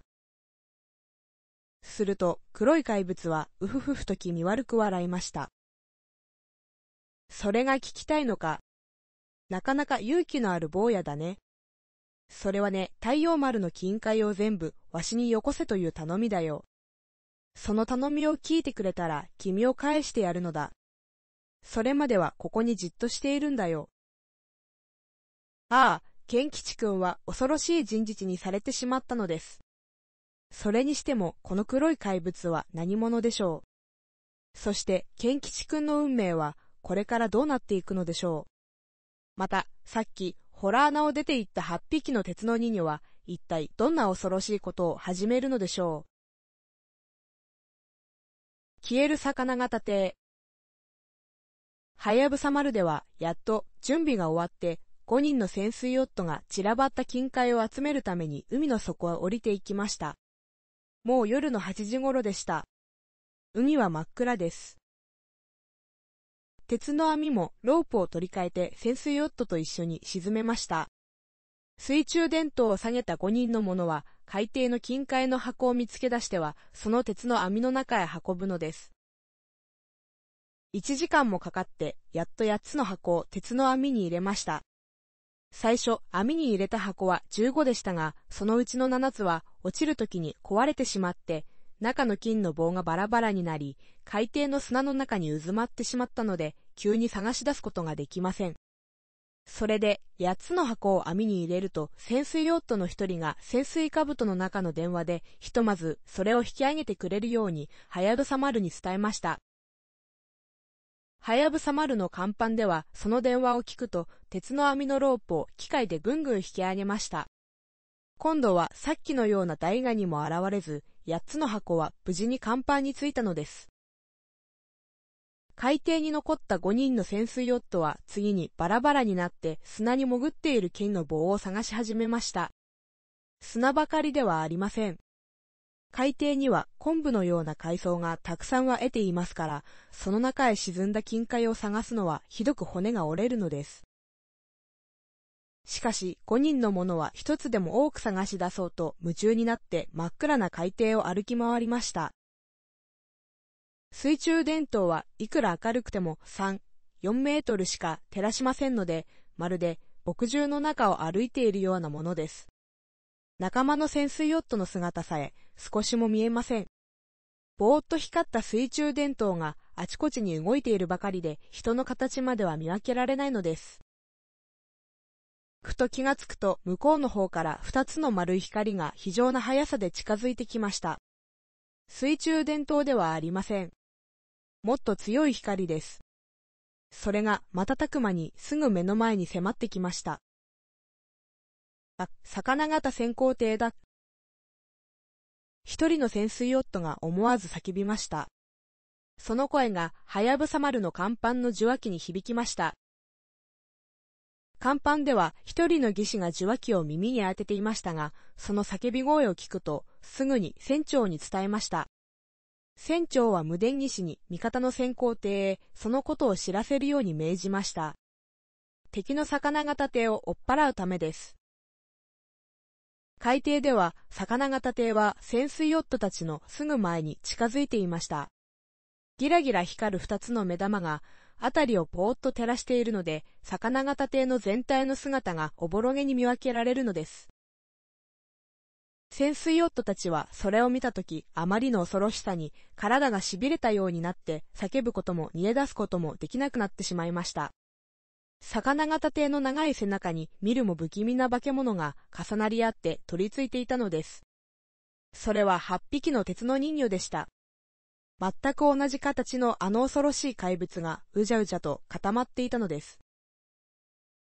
魚型艇はスーッと頭を下げて海の底とすれすれまで降りてきました。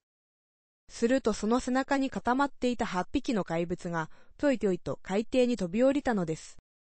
そして巨大なワニのような格好で潜水ヨットたちの方へ這い寄ってくるではありませんか？わあ、引き上げてくれ。鉄の人魚がやってきた。早く、早く。五人の潜水ヨットたちが口々にわめきました。その声が、はやぶさ丸の受話器にガンガンと響くのです。義士は急いで機械係に引き上げの合図をしました。ガラガラとロープが巻き上げられます。やがて、5人の潜水ヨットは方法の艇で船端に這い上がってきました。そして兜を脱がせてもらうと、海底の恐ろしいありさまを詳しく報告するのでした。一方、味方の先行艇は、はやぶさ丸から無電の命令を受けて、すぐさま潜水ヨットの潜っている場所へ急ぎました。そこへ着いた時には、ちょうど8匹の鉄の人魚が海底に降りたところでした。敵の魚型艇は、早くもこちらの先行艇に気づいていきなり逃げ出しました。ギラギラ光る二つ目玉の海魚と、それを追う三つ目玉の先行艇、両方とも全速力で海の底を走るのです。海底の魚どもは、よりよりならぬ巨大な怪物の襲来に慌てふためいて逃げ惑う。それが二つの先行艇のヘッドライトに照らされて、金色に、銀色にちらちらと美しくひらめくのです。二つの艇の間は50メートルほど隔たっていました。逃げる魚型艇は岬の海岸の方へまっしぐらに走っていたのですが、もう少しで海岸に届きそうになったところで、ふっとその姿が見えなくなってしまいました。二つの目玉の電灯を消したのだろうと、こちらのヘッドライトでその辺一帯をくまなく探しました。でもあの大きな魚型艇が影も形も見えないのです。海の水に溶けてしまったように跡形もなく消え失せたのです。その辺の海底は凸凹した岩ばかりで中には小山のような大きな岩もあります。敵はその岩の影に隠れているのではないかと長い間ぐるぐる回って探しましたがどこにもいません。そんな大きな魚型艇がそんなにうまく隠れられるものではありません。幽霊のように消えてしまったとしか考えられないのです。仕方がないので、そのことをはやぶさ丸に無電で知らせておいて、味方の先行艇はそこを引き上げることにしました。それにしても、魚型艇は一体どうしたのでしょう。あんな大きなものが海底の砂の中へ潜るわけにはいきません。昆布などの林も魚型艇を隠すほど大きくはありません。もしや海面に浮き上がったのではないかとこちらも浮き上がってみましたが、やっぱり影も形もないのです。海底の魔術です。鉄の人魚の怪物団は不思議な魔術を心得ていたのでしょうか。明智探偵の変装。はやぶさ丸の無電室は、味方の先行艇から魚型艇が消え失せたという知らせを受けましたが、それに驚く暇もなく、やがてどこからか妙な無電が入ってきました。はやぶさ丸、はやぶさ丸と何度も呼び出しをかけてから同じ文句を繰り返し打ってきました。宮田健吉君派預かっている太陽丸の金塊全部と引き換えに健吉君を返す。承知しなければ健吉君の命派ないものと思え返事待つ。無電西はそれを書きつけた紙を持って甲板の船長のところへ飛んできました。何、ケ吉君を預かっているだって。宮田さん、ケ吉君はどこにいるんです？変な無電が来ましたよ。そこにいた宮田さんと明治探偵が船長の手からその紙を受け取って恐ろしい文句を読みました。健吉は自分の船室へ行くと言って、さっき降りていったままですが、宮田さんが真っ青になってつぶやきました。じゃ、船室へ行ってみましょう。明智はそう言って、いきなり船室へ降りるハッチの方へ飛んでいきます。宮田さんもその後から走り出しました。しばらくすると明智探偵と宮田さんが甲板に駆け上がってきました。船室にはいません。皆さん、賢吉少年がいなくなったのです。手分けをして船の中を探してください。明治が叫びました。それから大騒ぎになって船員たちは行く組にも分かれて船の中のあらゆる場所を探しましたが少年の姿はどこにもありませんでした。変ですよ。政府の北側もいなくなってます。もしやあいつが一人の船員が報告しました。そうだ。あいつが敵の回し者だったかもしれない。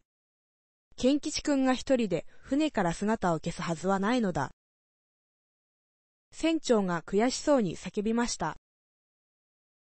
魚型先行艇の中へさらわれたのかもしれませんよ。我々はみんな潜水の仕事の方に集まっていたので、反対側に先行艇が浮き上がって、剣騎士君を乗せていっても誰も気がつかなかったでしょうからね。騎士が自分の考えを話すとみんなも多分そうだろうと思いました。しかし、無電の返事を打たなければ、剣吉がどんな目に遭うかもしれません。と言って、金塊を渡すわけにはいかないし、明智さん、どうしたものでしょうね。宮田さんが青い顔をして明治に相談しました。明日まで返事を待ってくれという無電を打っておくのですね。その間に僕はちょっとやってみたいことがあるのです。ひょっとしたらうまく賢吉くんを取り戻すことができるかもしれません。明治は何か自信ありげに言うのでした。そこで船長は下士を呼んで明日まで返事を待ってくれという無電を打たせました。明智さん、やってみたいとおっしゃるのはどういうことですか？船長が尋ねますと、明治は思いもよらぬことを言い出しました。今夜のうちにそっと上陸しようと思うのです。ボートでは敵に悟られる心配がありますから、やはり先行艇に乗って海岸に近づき、あとは岸まで泳げばよいのです。小林を連れて行きます。明日の昼前には帰るつもりですが、もっと遅くなるかもしれません。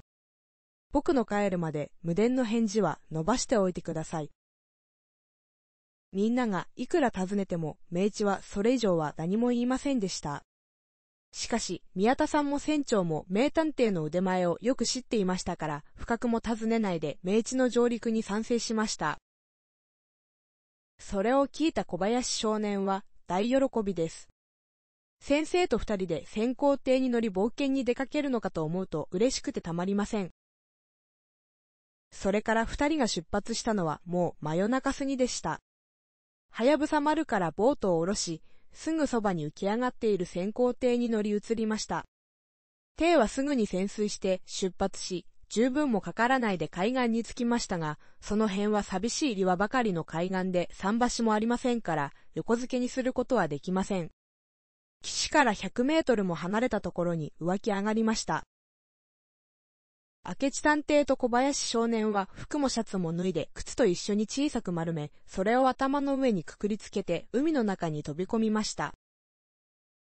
その辺は見上げるばかりの岩の切り岸で、その下に荒波が押し寄せ、真っ白に泡立っています。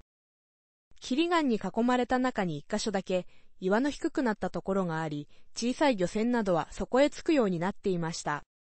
二人はその船着き場に向かって抜き手を切って泳ぎ出しました。明智探偵はもちろん、小林少年も水泳は得意でしたから、荒波をものともせず、ぐんぐん泳ぎ切って岩の岸によじ登りました。そして、そこで体を拭いてシャツと服を着ると、だんだんになった岩を上まで登り、真っ暗な愛知を近くの漁師の部落に向かって急ぎました。その辺は蚊も畑もない荒れ地で漁師の家が5、6軒固まっているばかりの本当に寂しい部落でした。その後、6軒の家もみんな寝静まって真っ暗でシーンと静まり返っているのです。二人はその一軒の家を叩き起こしてたくさんのお金を出して漁師の服を譲ってもらい着ていた服を脱いでそれと着替えました。つまり漁師の親子に変装したのです。汚い皆既食のズボン、破れて次の当たったシャツ、頭には手ぬぐいの鉢巻きといういでたちです。どうも顔が白すぎるね。少しお化粧をした方がいいだろう。明智はそんなことを言って漁師の家の壁に溜まっていたすすを手につけて自分の顔と小林少年の顔にベタベタ塗りつけました。これで二人はすっかり漁師らしくなったのです。それからそこに腰掛けてその辺の地理を詳しく尋ねました。今度の冒険にはやはり土地の要素をよく知っておかねばならないからです。そうして話しているうちに東の空がぼーっと明るくなってきました。太陽が出る前の薄明かりです。そこで二人は漁師にお礼を言って外に出ました。もう足元が見えないほどではなく、いくら歩いても危なくはありません。二人は海岸に沿ってテクテクと歩き出しました。一直線に歩くのではなくて、松の林があれば、その中を調べ、細かくなった丘があれば、その周りを調べ、地面に穴があれば、その中を覗くというふうに何かを探しながら歩き回るのでした。海の方を眺めると、はやぶさ丸の船体がぼーっと黒く見えています。そのはやぶさ丸が一番近くに見えるところに来ますと、明智探偵は今までよりは一層注意深くその辺の地面を調べていましたが、ふと立ち止まって向こうの松の林を見つめました。そこには大きな松の木が5、6本湧いて、その下に背の低い木がいっぱい茂っていました。名探偵はその茂みの中に何かを見つけたのです。静かに音を立てないように。小林少年にそっと囁いて、そこに近づくと松の木の太い幹の影に体を隠して向こうの茂みを透かしてみるのでした。まだ薄暗い夜明け前でしたが、じっと見ているとだんだん目が慣れて、その辺がはっきり見えてきました。おや、こんなところにモグラがいるのかしら。小林少年は驚いてそこを見つめました。茂みの中の草がぐらぐらと動いているのです。猟犬のように鋭い名地探偵はさっきからそれに気づいていたのでしょう。草はますますひどく動き出しました。60センチ四方ほどの地面が草と一緒にぐーっと持ち上がってくるのです。そして、あっと思う間に、その草の生えた土が横に動いて、その後に真っ暗な四角い穴が開きました。それから、実に不思議なことが起こったのです。その四角な穴から何者かがニューッと首を出したではありませんか？それはモグラではなくて人間の首でした。その人間の首は用心深く、キョロキョロと辺りを見回していましたが、こちらの二人には少しも気づかず、誰もいないと思ったのか、そのまま穴から這い出してきました。その男はやっぱりその辺の漁師のような風をしていました。三十も六の強そうな男です。これは一体どうしたわけなのでしょう？海岸の地面の中から一人の人間が湧き出してきたのです。この男は土雲のように土の中に住んでいるのでしょうか？あの黒い穴の下には何があるのでしょう？そこは防空壕のように広くなって人間の住まいになってでもいるのでしょうか？穴から出た怪しい男は草の生えた土を元に戻して穴の蓋をしました。それからもう一度よくあたりを見回してどこへ行くのか急ぎ足に歩き出しました。明智探偵はそれを見ると小林少年の腕をつっついて合図をしました。そして相手に悟られぬようにそっと男の後を尾行し始めたのです。怪しい男は海岸の反対の方角へどんどん歩いていきます。そちらにはさっきの部落と違ってもっと大きな漁師村があるのです。その道に小高い丘がそびえていました。男はテクテクとその丘の下を歩いています。その時、明智探偵はまた小林少年の腕をつっつきました。そして、いきなり駆け出したのです。恐ろしい速さです。まるで黒い風が吹きすぎるようでした。小林くんも続いて一生懸命に駆け出しました。明治の黒い影がパッと怪しい男の後ろから飛びかかりました。そしてあっという間に男はそこへねじ伏せられてしまいました。裸の勇士。明智探偵は何のためにその男を捕らえたのでしょうかまた、その男をどこへ連れて行って何をしたのでしょうかそれはしばらくお預けにしておいて、お話はそれから後、6時間経ったその日のお昼頃の出来事に移ります。沖に停泊しているはやぶさ丸では、宮田さんや船長やサルベージ会社の理事やその他多くの船員が甲板に上がって海面を見つめていました。岸の方から一艘の小舟がはやぶさ丸をめがけて近づいてきたからです。その船には大人と子供と二人の漁師が乗っています。大人の方が牢を漕いでいるのです。まもなく小舟ははやぶさ丸の巣の下まで来ました。そして甲板の人たちに向かって手を振りながら大きな声で怒鳴っています。はしごを下ろしてくれ。見も知らぬ漁師がはやぶさ丸に乗せてくれと言っているのです。お前は誰だ？何の用事があるんだ？甲板から誰かが大声で尋ねました。僕は明治だ。よく顔を見てくれ。ここにいるのは小林だよ。甲板の人たちは明智探偵と聞いてびっくりしてしまいました。しかし、よく見ると顔は黒く汚れているけれど、明治に違いないことがわかりましたので、急いではしごを下ろしました。漁師姿の明治と小林少年とは、はしごを登って甲板に上がり、宮田さんや船長や技師などと一緒に下の船室へ入りました。そして30分ほど何か相談をしていましたが、それが終わると明智探偵は何か大きな黒い風呂敷包みを小脇に抱えて甲板に上がってきました。そして小林少年と一緒にまた元の小舟に乗り移ってそのまま岩ばかりの海岸に向かっていきました。二人が帰ってしまうと、はやぶさ丸の中はにわかに騒がしくなってきました。船長が船員や水夫たちを呼び集めて、ある命令を下しました。すると、船員や水夫は、忙しそうにあちこちと歩き回って何かの用意を始めたのです。まるで戦争でも始まるような騒ぎです。無電技師は味方の先行艇を無電で呼び返し、間もなくあの小型先行艇が、はやぶさ丸のすぐそばに湧き上がりました。すると、はやぶさ丸のボートが降ろされ、13人の裸の船員や水夫たちが、そのボートに乗り込みました。ズボン下一つの真っ裸です。みんな、肩の筋肉が隆々と盛り上がり、腕には大きな力こぶのある強そうな人たちばかりです。その裸の人たちはみんな背中に酸素のボンベをつけ、水中メガネを持ち、足の先には大きな水かきをはめ、手には妙な形の水中銃を持っていました。ボートはロープで先行艇の後ろにつながれ、やがて先行艇は海面に浮き上がったままボートを引っ張ってどこかへ出発するのでした。それから20分ほど経った頃、先行艇はウサギのすぐそばの岩ばかりの海底に沈んでヘッドライトの3つ目をギラギラと光らせていました。その向こうの断崖のようになった岩に大きなホラー穴があるのです。夕べ、敵の魚型潜航艇が突然消えてしまったのはこの辺でした。その時は、ホラー穴の前にそびえている岩山に隔てられて、ホラー穴が見えなかったのです。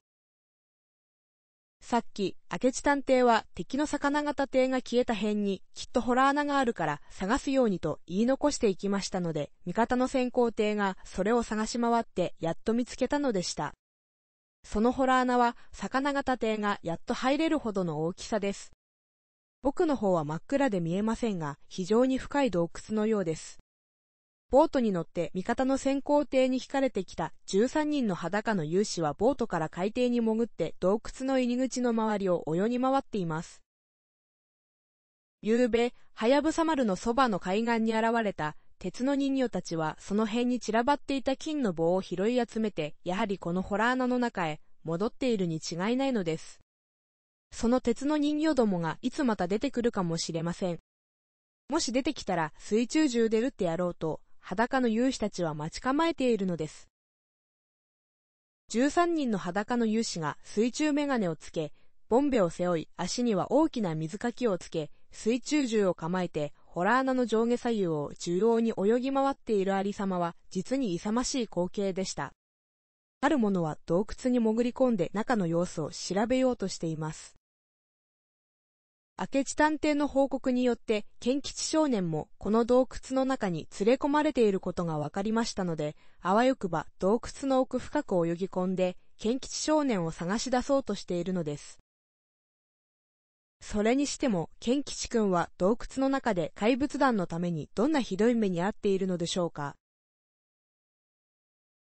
洞窟の牢獄その時、賢吉少年は洞窟の中の牢獄に押し込められていました。裸の勇士たちが泳ぎ回っているホラー穴は奥へ行くほど広くなっていて、そこに敵の魚型艇が隠れているのですが、さらに奥へ進みますと、穴がだんだん上の方へ向かって、やがて海面よりも高くなり、もう水のない洞窟になっています。そして、鍾乳洞のように入り組んだ抜け道があり、ところどころに部屋のような広い場所もあります。鉄の人魚の怪物団は、この人の知らない洞窟を見つけて、そこを根城にしていたのです。曲がりくねった枝道の一つに二畳ほどの部屋のようなくぼみがあって、その前にスニマルタを縦横に組み合わせた牢屋の格子のようなものが立ちふさがっています。洞窟の中の牢獄なのです。その真っ暗な牢獄の中に学生服を着た一人の少年がしょんぼりとうずくまっていました。それが賢吉少年でした。食べ物はちゃんと運んでくれますし、別にひどい目に遭うわけではありませんが、講師の中に閉じ込められているのですから、どこへも行くことができません。話し相手もなく、何も見えない真っ暗な中にじっとしているほかはありません。実に寂しい心細い身の上です。今頃、小林さんや明治先生はどうしているのかな？僕がここへ連れられてきたことは誰も知らないに決まっている。いくら名探偵の明治先生でも気がつかないだろう。ああ、お父さんに会いたいな。僕はなぜハヤブサ丸なんかに乗り込んだのだろう。乗せばよかった。そうすれば今頃は東京のお家にお母さんと一緒にいられたのだ。そう思うと、賢吉君はいきなり、お父さん、お母さん、と大きな声で叫びたくなりました。そして両方の目から熱い涙が溢れ出してきてポロポロと頬を伝え落ちるのでした。ふと気がつくと、格子の外の岸壁にチロチロと光が差していました。誰かが懐中電灯を照らしてこちらへやってくるらしいのです。賊の手下が食べ物を持ってきたのかしら。と思いましたが、それにはまだ時間が早いのです。ひょっとしたら講師の外へ連れ出されてひどい目に遭わされるのではあるまいか。ふと、そう考えると、ケン吉くんはもう恐ろしくて仕方がありません。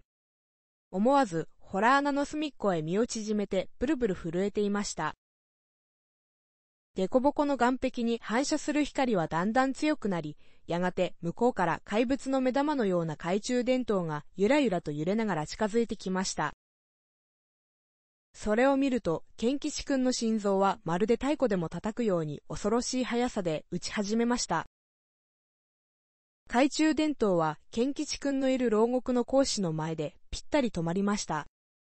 そして岩の牢獄の中をずっと人当たり、照らしてからそこへ来た男は自分の顔の方へ光を当ててみせました。いつも食べ物を運んでくれる賊の手下です。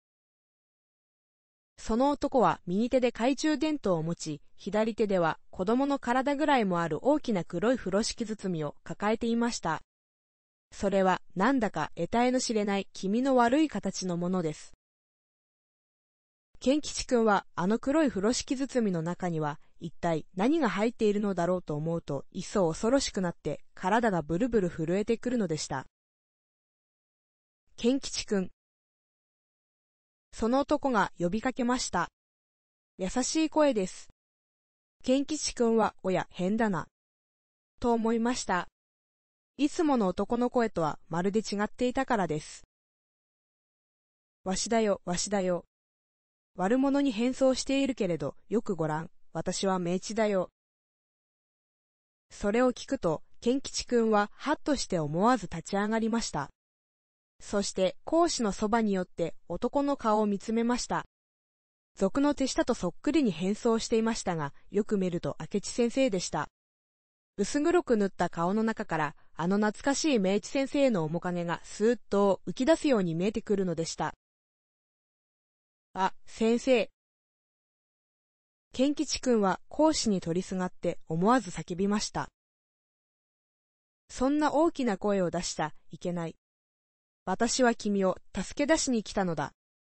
今に小林もここへ来るからね。明智探偵はそう言って懐中電灯を高く上げてトンネルのようになったホラー穴の向こうの方に向かってに3度振り照らしました。すると、それが合図だったらしく、真っ暗な向こうの方から何者かが近づいてきましたが、それが明治の懐中電灯の光の中に入ると、容姿のような着物を着た一人の少年でした。おや、変な子供が来たな。と思ってよく見ますと、その子供も顔を黒く塗っていましたが、どこかに小林くんの面影がありました。やっぱり小林少年の変装姿だったのです。あ、小林さん。賢吉少年はまた叫ばないで入られませんでした。明智探偵は用意していた鍵を取り出して、牢獄の講師の戸を開き、小林少年と二人で中へ入ってきました。賢吉くん無事でよかったね。小林少年はいきなり賢吉くんに抱きついていきました。賢吉くんも小林少年に取りすがって、まるで久しぶりに出会った兄弟のように抱き合ったまま、いつまでも離れないのでした。賢吉くん、これから君を助け出すのには、いろいろトリックを使わなければならない、なかなか難しい仕事なんだよ。それに、ぐずぐずしていて敵に見つかったら、大変だから大急ぎでやらなければならない。詳しい話は後ですることにして、すぐにトリックに取り掛かるよ。まず、君は小林くんと服を取り替えるんだ。明智探偵はそう言って自分も手伝って手早く二人の服を取り替えさせました。つまり小林くんは学生服を着て健吉くんになりすまし、健吉くんは小林くんの着てきた漁師の子供の着物を着たのです。着替えが済むと、明智は懐から濡れた手ぬぐいを出して、すすを塗った小林くんの顔をきれいに拭き取り、その汚れた手ぬぐいで健吉くんの顔を撫で回しました。すると、今まで汚かった小林くんの顔がきれいになり、きれいだった健吉くんが日に焼けた漁師の子供に早変わりしてしまいました。健吉くんは私と一緒に陸の方に開いている穴から逃げ出して、船に乗ってはやぶさ丸に帰るんだ。私もこの服を脱いで漁師の着物を着るから漁師の親子が船に乗っていると思って誰も疑わないのだよ。明智はそう言って、さっき左手に抱えていた大きな風呂敷包みを賢吉君になりすました小林少年に渡しました。いいかい。これでうまくやるんだよ。私はじきに帰ってくるからね。それまで君の腕前でうまく敵を操っておくのだよ。はい、大丈夫です。きっとうまくやります。小林くんは元気よく答えました。それから明智探偵は講師の外に出て、その近くの岩穴の中に隠しておいた漁師の着物と着替え、賢吉少年を連れて岩のトンネルをぐるぐる回りながら陸地に開いている根の小さな穴の方へ急ぐのでした。それからしばらくすると、賊の洞窟の中になんだか得体の知れない奇妙なことが起こりました。族の手下の一人が懐中電灯を持って岩のトンネルの中を歩いていますと、向こうの方に黒い人影のようなものがちらっと動くのが見えました。なんだかひどく背の低い子供みたいなやつです。族の手下は親と思って立ち止まりました。あんな小さなやつは仲間にはいないはずだ。ひょっとしたら、賢吉のやつが講師を破って逃げ出したのじゃないかしら。もしそうだとすれば大変です。その男はキッとなって、いきなりその黒い人影を追っかけました。おい、そこにいるのは誰だ？待て、待たないか？懐中電灯を振り照らして走りましたが、小さな人影はまるでリスのように素早くて迷路の洞窟の中をぐるぐる逃げ回るので、とうとう見失ってしまいました。チェ、すばしっこいやつだ。だが、もしあれが賢吉だったとすれば、牢の格子の中が空っぽになっているはずだ。よし、それを確かめてみよう。男はそう思って牢獄の方へ急ぎました。そして格子の外に立つと懐中電灯で中を照らしてみましたが、不思議なことに賢吉少年はちゃんとそこにいたではありませんか？岩部屋の向こうの隅っこに首をうなだれてじっとうずくまっているのです。男は中には行って調べてみようと思いましたが、講師の戸には大きな錠がついていて鍵がなくては開くことができません。その鍵は明治探偵の化けているあのジャンパーを着た賊の手下が持っているのです。そこで男はその手下を探すためにみんなのいる広い洞窟の方へ駆け出しました。岩のトンネルをかけていますと、またしても向こうの闇の中に小さい黒い人影がちらっと見えました。急いでその方に懐中電灯を向けました。すると、パッと曲がり角の向こうへ姿を隠しましたが、そいつは賢吉少年とそっくりの学生服を着ていました。背の高さも同じです。男は夢でも見ているような変な気持ちになりました。賢吉少年が二人になったのです。一人は鍵のかかった格子の中にうずくまっている。一人は洞窟の中を自由自在に駆け回っている。こんな不思議なことはありません。男はなんだか気味が悪くなってきました。そこでその男はいきなり黒覆面の狩猟の部屋へ駆け込んで事の次第を告げますと、狩猟はみんなで鍵を持っているジャックを探すように命令しました。しかし、族の手下たちが手分けをして、30分ほども洞窟の中を探し回っても、奇妙な子供もジャックもどうしても見つからないのでした。その捜索が無駄に終わって、また30分も経った頃でした。一人の手下が狩猟の部屋に駆け込んできて、慌ただしく報告しました。狩猟、来ました、来ました。剣吉の係のジャックのやつがどこからかひょっこり帰ってきました。今ここへやってきます。ジャックというのは牢獄の講師の鍵を持っている男のあだ名です。その報告が終わるか終わらないうちに狩猟の部屋の入り口へジャックがスーッと姿を現しました。ジャンパーにカーキズボンのあの男です。海少年。狩猟はジャックをテーブルの前に呼びつけて叱りつけました。ジャック、どこへ行ってたのだ？お前を探し出してからもう一時間にもなるぞ。一体、そんな長い間、どこへ遊びに行っていたんだ？狩猟の前に立ったジャックはニヤニヤ笑って頭をかきました。村へ行って漁師のうちでごちそうになったもんだからつい遅くなって。なんだと、村へ遊びに行った。用事を済ませたらすぐ帰れとあれほど言ってあるじゃないか。漁師なんかと付き合ってこの隠れ家を感づかれたらどうするんだ。へえ、申し訳ありません。これから気をつけます。ジャックはうつむいて神妙にしています。お前は牢屋の鍵を預かっているんだろう。その牢屋に変なことが起こったのだ。賢吉のやつが牢屋を抜け出したらしい。洞窟の中にちょろちょろと姿を現すのだ。だがあの子供はいつの間にそんなにすばしっこくなったのか、みんなが追っかけてもどうしても捕まらないのだ。ところが、牢屋へ行って講師の中を覗いてみると、賢吉はちゃんとその中にうずくまっている。なんだかわけがわからないのだ。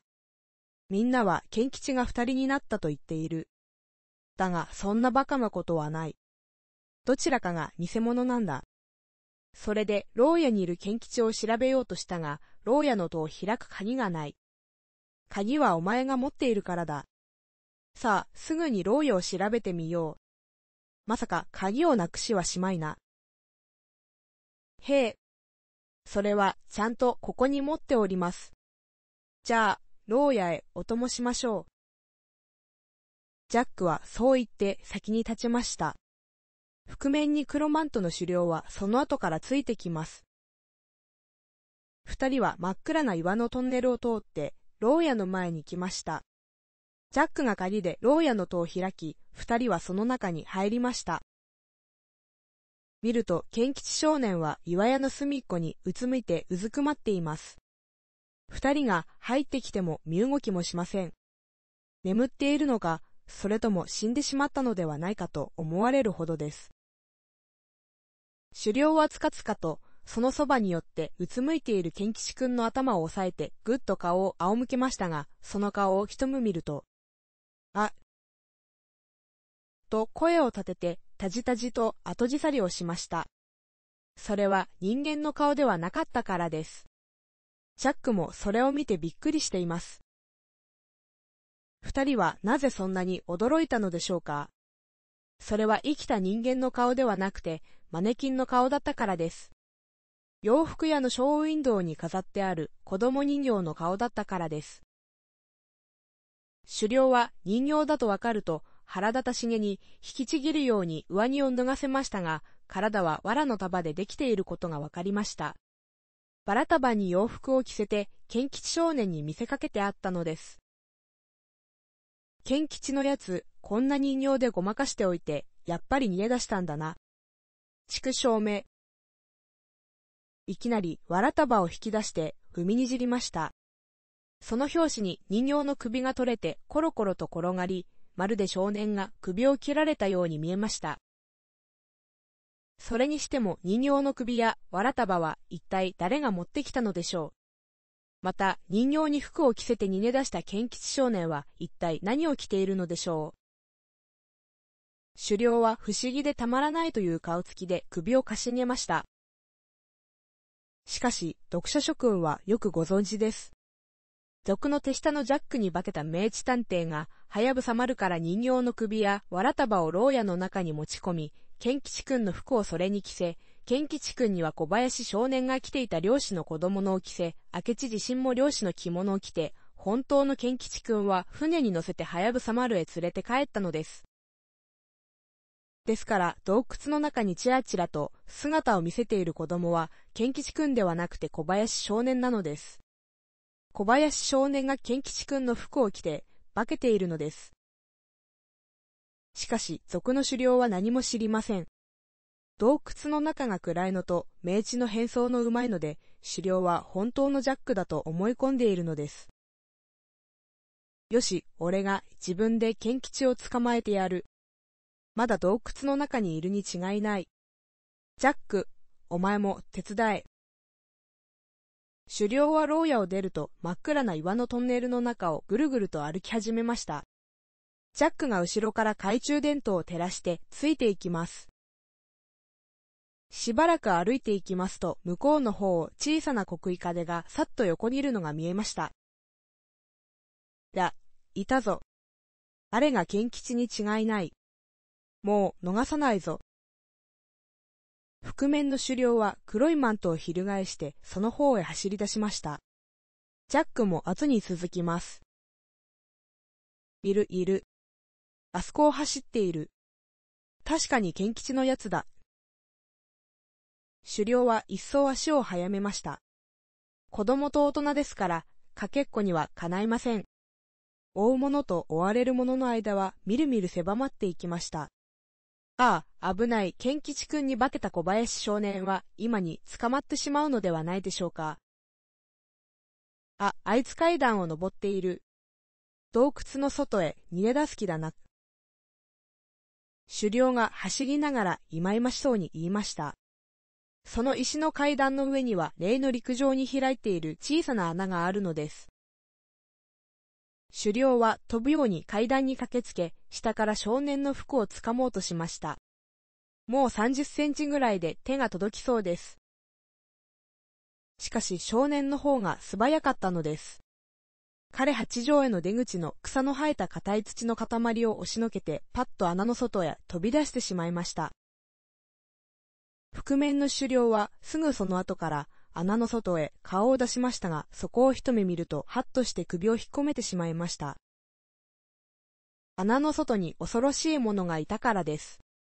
どうしていつの間にやってきたのか、穴の外の林の中に制服の警官がもう6名ずらっと並んでこちらを睨んでいたのです。賢吉君になりすました小林少年は、その警官の真ん中に挟まれてニコニコして立っていました。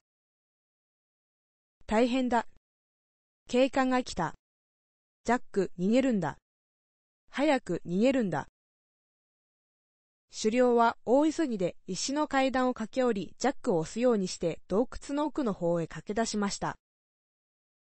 二人はぐるぐる曲がっているトンネルの中を死に物狂いで走りました。そして、着いたところは海の方に近い広い洞窟でした。そこにはあの恐ろしい八匹の鉄の人魚がうじゃうじゃ固まって住んでいるのです。怪獣の秘密広い洞窟の中を8匹の鉄の人魚が檻の中の野獣のように固まっていました。鉄でできた恐ろしい顔に輪のように青く光る大きな目、口は耳まで裂けて、その唇の間からニューッと牙が突き出しています。全身に鉄の鱗側へ頭から背中にかけて鋭い鉄のトサカのようなギザギザが続いています。胴体と尻尾はワニとそっくりで、それがやっぱり鉄でできています。大きさは人間の大人よりも大きいのです。一匹でも恐ろしいのに、そういう怪物が八匹もうじゃうじゃ固まっているのですから、その不気味さは想像もできないほどです。覆面の狩猟はジャックの持つ懐中電灯の光を頼りに、その怪獣の岩屋へ入っていきました。そして鉄の人魚たちに向かって大きな声で命令しました。お前たち、よく聞け。陸の入り口から今に警官が踏み込んでくる。お前たちは途中まで行ってあいつらを攻撃するんだ。一人残らず穴の外へ追い出してしまえ、そして穴には中から大石を詰めて、二度と入ってこられないようにするんだ。わかったか？さあ、みんな一緒に出かけるんだ。鉄の怪物どもは狩猟の命令を黙って聞いていました。そしてしばらくの間、シーンと静まり返っていたかと思うと、やがて、じゃ、じゃ、じゃ、じゃ、じゃ、というたくさんの鉄が一度にすれ違うような恐ろしい音が起こりました。鉄の人魚どもが声を揃えて笑っているのです。こら、お前たちどうしたというのだ？俺がわからないのか？なぜ笑うのだ？なぜ俺の命令に従わないのだ？狩猟が恐ろしい声で怒鳴りました。しかし、鉄のすれ合う音は静まるどころか、ますます激しくなっていきます。怪獣は狩猟を馬鹿にして、いつまでも笑い続けているのです。貴様たち気が違ったな。よし、思い知らせてやる。狩猟はいきなり、靴履きの足を上げて、すぐそばにいた一匹の人魚の顔をパッと蹴りました。すると、にわかに、じゃ、じゃ、じゃ、じゃ、という音がものすごい調子に変わって、八匹の鉄の人魚が四方から狩猟をめがけて襲いかかってきました。彼らの目の輪のような硬派、パッと燃え立つように強くなり、鋭い牙をガチガチと噛み鳴らし、鋭い爪の生えた両手を広げて狩猟の周りを取り囲み、今にも食いつきそうなものすごい形相を示しました。さすがの怪物団の狩猟もそれを見るとぞっとしたように立ちすくんでしまいました。どうしてこんなことが起こったのかさっぱりわけがわかりません。部下の人形どもがにわかに狩猟に背くとは一体どうしたわけなのでしょう。すると、その時、またしても不思議なことが起こりました。じゃ、じゃ、じゃ、じゃ、じゃ。と笑っていた怪獣の声が突然わはははは。という人間の声に変わったのです。八匹の人魚が人間のように笑い出したのです。洞窟も揺れるばかりの恐ろしい笑い声でした。それからガチャンガチャンというやかましい音がしたかと思うと、人魚どもの腹のところが二つに割れて、その中から裸の人間が飛び出してきました。わははは、どうだ、驚いたか。俺たちは君の部下じゃないぞ。はやぶさ丸からやってきた八人の勇士だ。鉄の人魚の中から真っ先に飛び出した一人の若者が怒鳴りつけました。なるほど部下ではありません。8人が8人とも全く見知らぬ人間ばかりです。それを見ると、覆面の狩猟はあっと立ちすくんで口を聞く力もなくなってしまいました。あはは、びっくりしているな。鉄の人魚なんておもちゃみたいなもんだ。鉄板でこんな形を作って中に酸素のボンベが3本も取り付けてある。だから長い間水中にいても平気なんだ。その中へ君の部下が入って我々を脅かしていたんだ。目が輪のように光るのは乾電池で青い豆電灯がついているんだ。明智先生がちゃんとそれを見抜いてしまった。そして、俺たち、裸の勇士を海の底へ送ってよこしたんだ。俺たちはボンベを背負って海の底の洞窟の入り口から忍び込んだ。そして水中銃で8人の君の部下を脅かし、人魚の鉄の皮を脱がせて俺たちが入れ替わったんだ。君の8人の部下は手足を縛り、猿靴輪をはめて向こうの方の岩穴に転がしてあるよ。わはははは、どうだ、驚いたか。覆面の狩猟はこんなひどい目にあったことは今までに一度もありません。恐ろしい敗北です。しかし、ぐずぐずしている場合ではありません。八人の裸の勇士が今にもこちらへ飛びかかってきそうに見えるからです。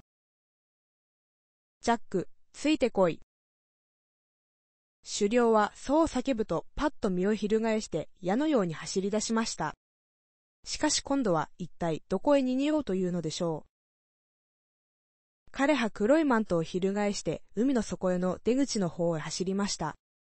ジャックもその後から続きます。しばらく走るとパッと目の前が広くなりました。そこには海底から入ってきた水が池のようになっているのです。広い洞窟の中の池です。海底からの入り口は水面のずっと下にあるのですが、洞窟が斜めに上の方へ続いているので、その辺はもう水面の上にあり、海水は池のように洞窟の底にたたえられているのです。その池の岸に小さいクジラほどもある真っ黒なものが浮いていました。俗の魚型先行艇です。その背中に透き通ったコブのようなものがあります。それはプラスチックのガラスでできた展望窓です。また、それは蝶つがいで上に開くようになっていて、庭園の出入り口も兼ねています。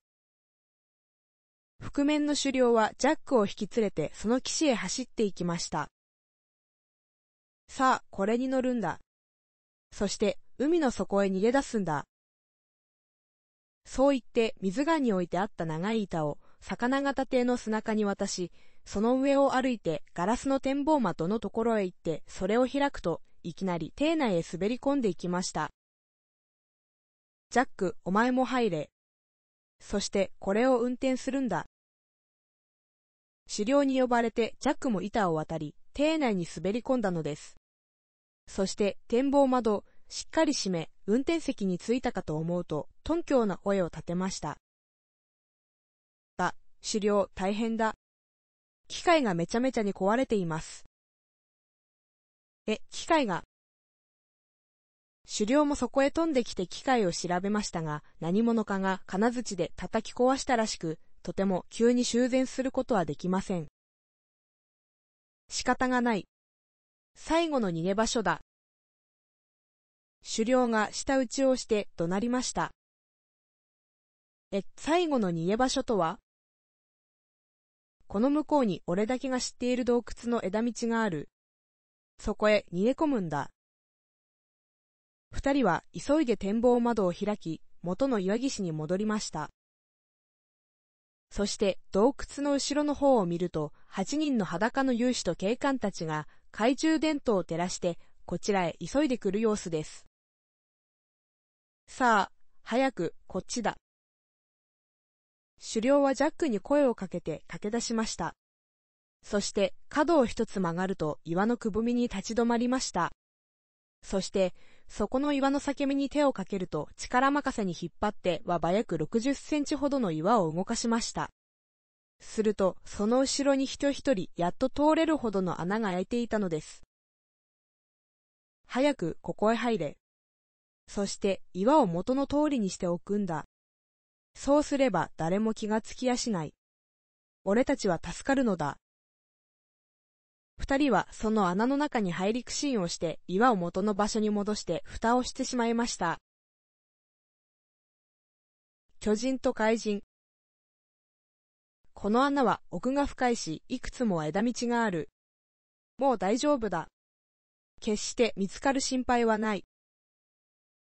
覆面の狩猟は岩穴を奥の方へ歩きながら自信ありげに言うのでした。だが不思議ですね。陸の方の出口からはおまわりが入ってくるし、鉄の人魚の中には敵の奴らが入っているし、魚型先行艇はいつの間にか機械が壊れているし、一体どうしたというのでしょうね。後ろから狩猟の後を追いながらジャックが声をかけました。うん、どうも、みんな明智小五郎の仕業らしい。あいつがどうかしてこの洞窟を見つけたのだ。そしていろんなことを企んだのに違いない。それにしてもわけがわからないのは賢吉のやつだ。あのおとなしい子供がいつの間にあれほどすばしっこくなったのか、実に不思議だ。岩穴の天井がぐっと低くなってきたので、狩猟は背をかがめて歩きながら後ろのジャックに話しかけます。すると、ジャックは何がおかしいのか、くすくす笑って、あんたはまだそのわけがわからないのですかい？と妙なことを言いました。狩猟はその声を聞くとびっくりしたように立ち止まって、ジャックの声のする方を振り向きました。なんだって、それじゃお前にはわかっているのか。わかってますよ。あの子供は賢吉じゃないのです。で、賢吉じゃない。それじゃあれは何者だ。そして賢吉はどこへ行ったのだ。賢吉は浮きのはやぶさ丸へ帰りましたよ。どうして帰ったのだ。まさか泳いで行ったわけじゃなかろう。小舟に乗って行きました。その小舟はどこにあったのだ？そして誰が漕いだのだ？明智小五郎が漕ぎました。船は漁師から借りたのですよ。明治と賢吉は親子の漁師のような風をして我々の目をくらましたのです。それを聞くと、狩猟は暗闇の中でぐっとジャックの腕をつかみました。貴様、それを知っていて、なぜ、今まで黙っていたのだ？なぜ、俺に知らせなかったのだ？これには訳があるのです。後で説明します。それより、ここはどうも窮屈ですね。もっと広いところへ出ましょう。うん、少し奥へ行けばまた広くなる。こっちへ来るがいい。狩猟はそう言って先に立って体を曲げながら前に進みます。10メートルも行くと広い洞窟に出ました。さあ、ここならいいだろう。で、賢吉がはやぶさ丸へ逃げたとすると、さっき俺が追っかけた子供は一体何者だ。明智小五郎の少年女子の小林です。え、あれが小林だって。そうですよ。賢吉ではとてもあんなにすばしっこく働けませんからね。つまりこういうわけです。明智小五郎は小林とマネキンの首とわら束を持って洞窟に忍び込んだのです。そしてわら束に賢吉の服を着せ、人形の首をすげて、牢屋の隅に座らせておき、賢吉には漁師の子供の着物を着せて、はやぶさ丸へ連れて帰った。その後で小林が洞窟の中を走り回って賢吉が二人になったように見せかけたというわけです。だが、待てよ。一体命地はどうして牢屋の戸を開いたんだ？壊れていないのを見ると鍵で開いたとしか考えられないが、その鍵はお前の他には持っていないはずだ。お前、まさか命地に鍵を貸したわけじゃあるまいな。そうですよ。貸した覚えはありませんよ。それじゃ、明治はどうして牢屋の戸を開いたんだ？狩猟、謎ですよ。ちょっと面白い謎ですよ、解けませんかね？この馬鹿にしたような言葉に狩猟は怒り出しました。こら、ジャック、貴様は俺をなぶる気か？なぞなぞ遊びをやっている場合じゃないぞ。貴様は何かまだ俺に隠しているな。ジャックは平気で喋り続けます。つまりこういう謎ですよ。鍵は一つしかない。その鍵はこのジャックが持っていた。ところが、牢屋の戸を開いたのは明智小五郎だった。この算数の答えはどういうことになるのでしょうね。暗闇の中で狩猟は黙り込んでいました。ひょっとして言葉も出ないのです。やがて狩猟の震え声が聞こえてきました。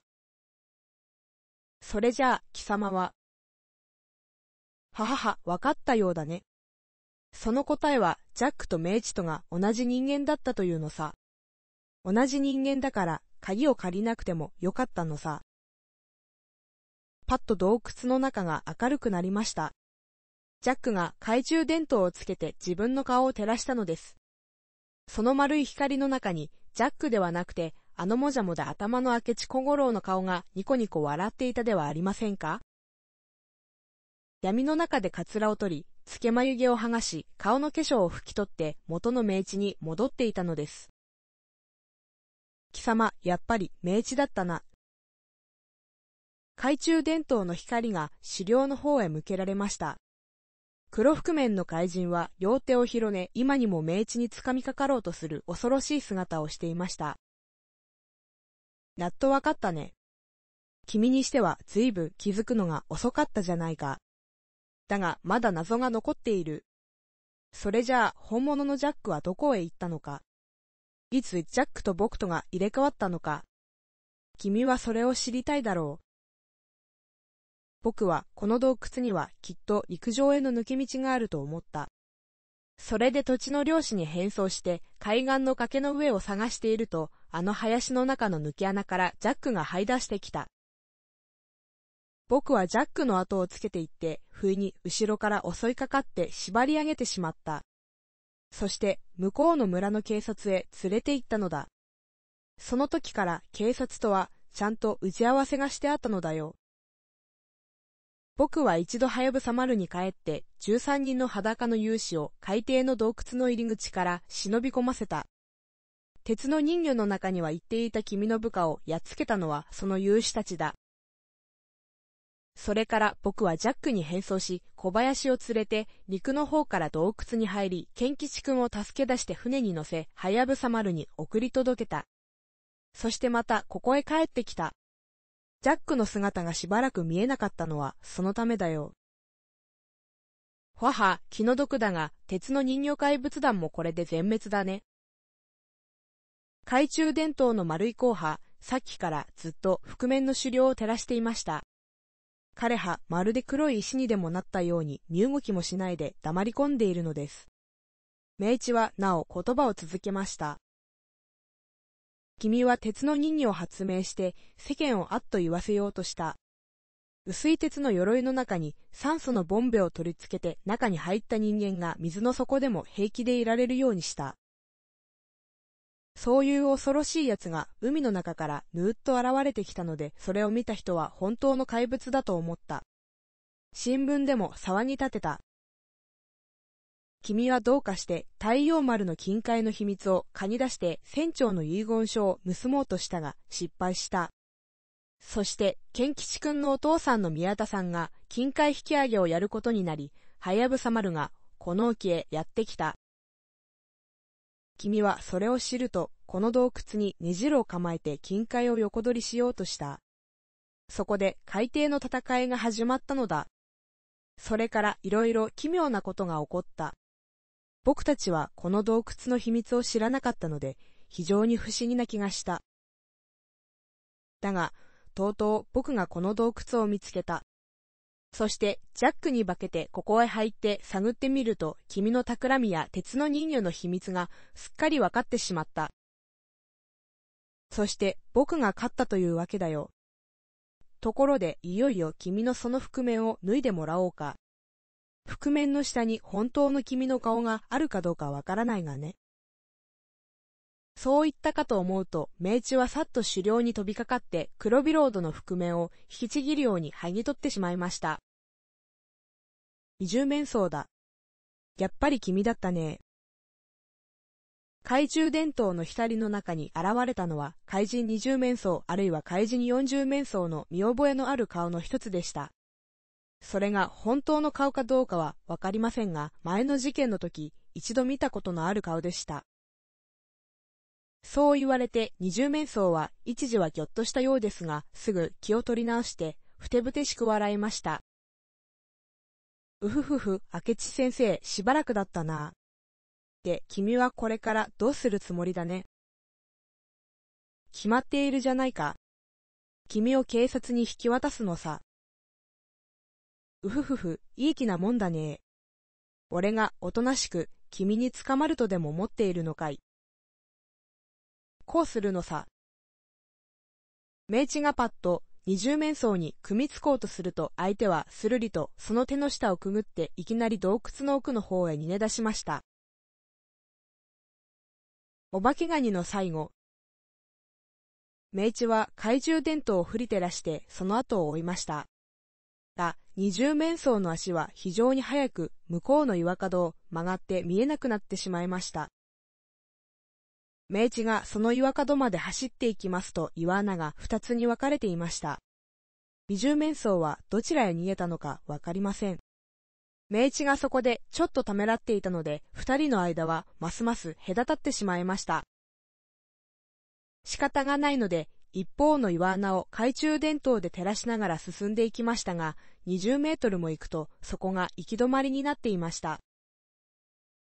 棒椅子にで引き返し、元の分かれ道に戻りました。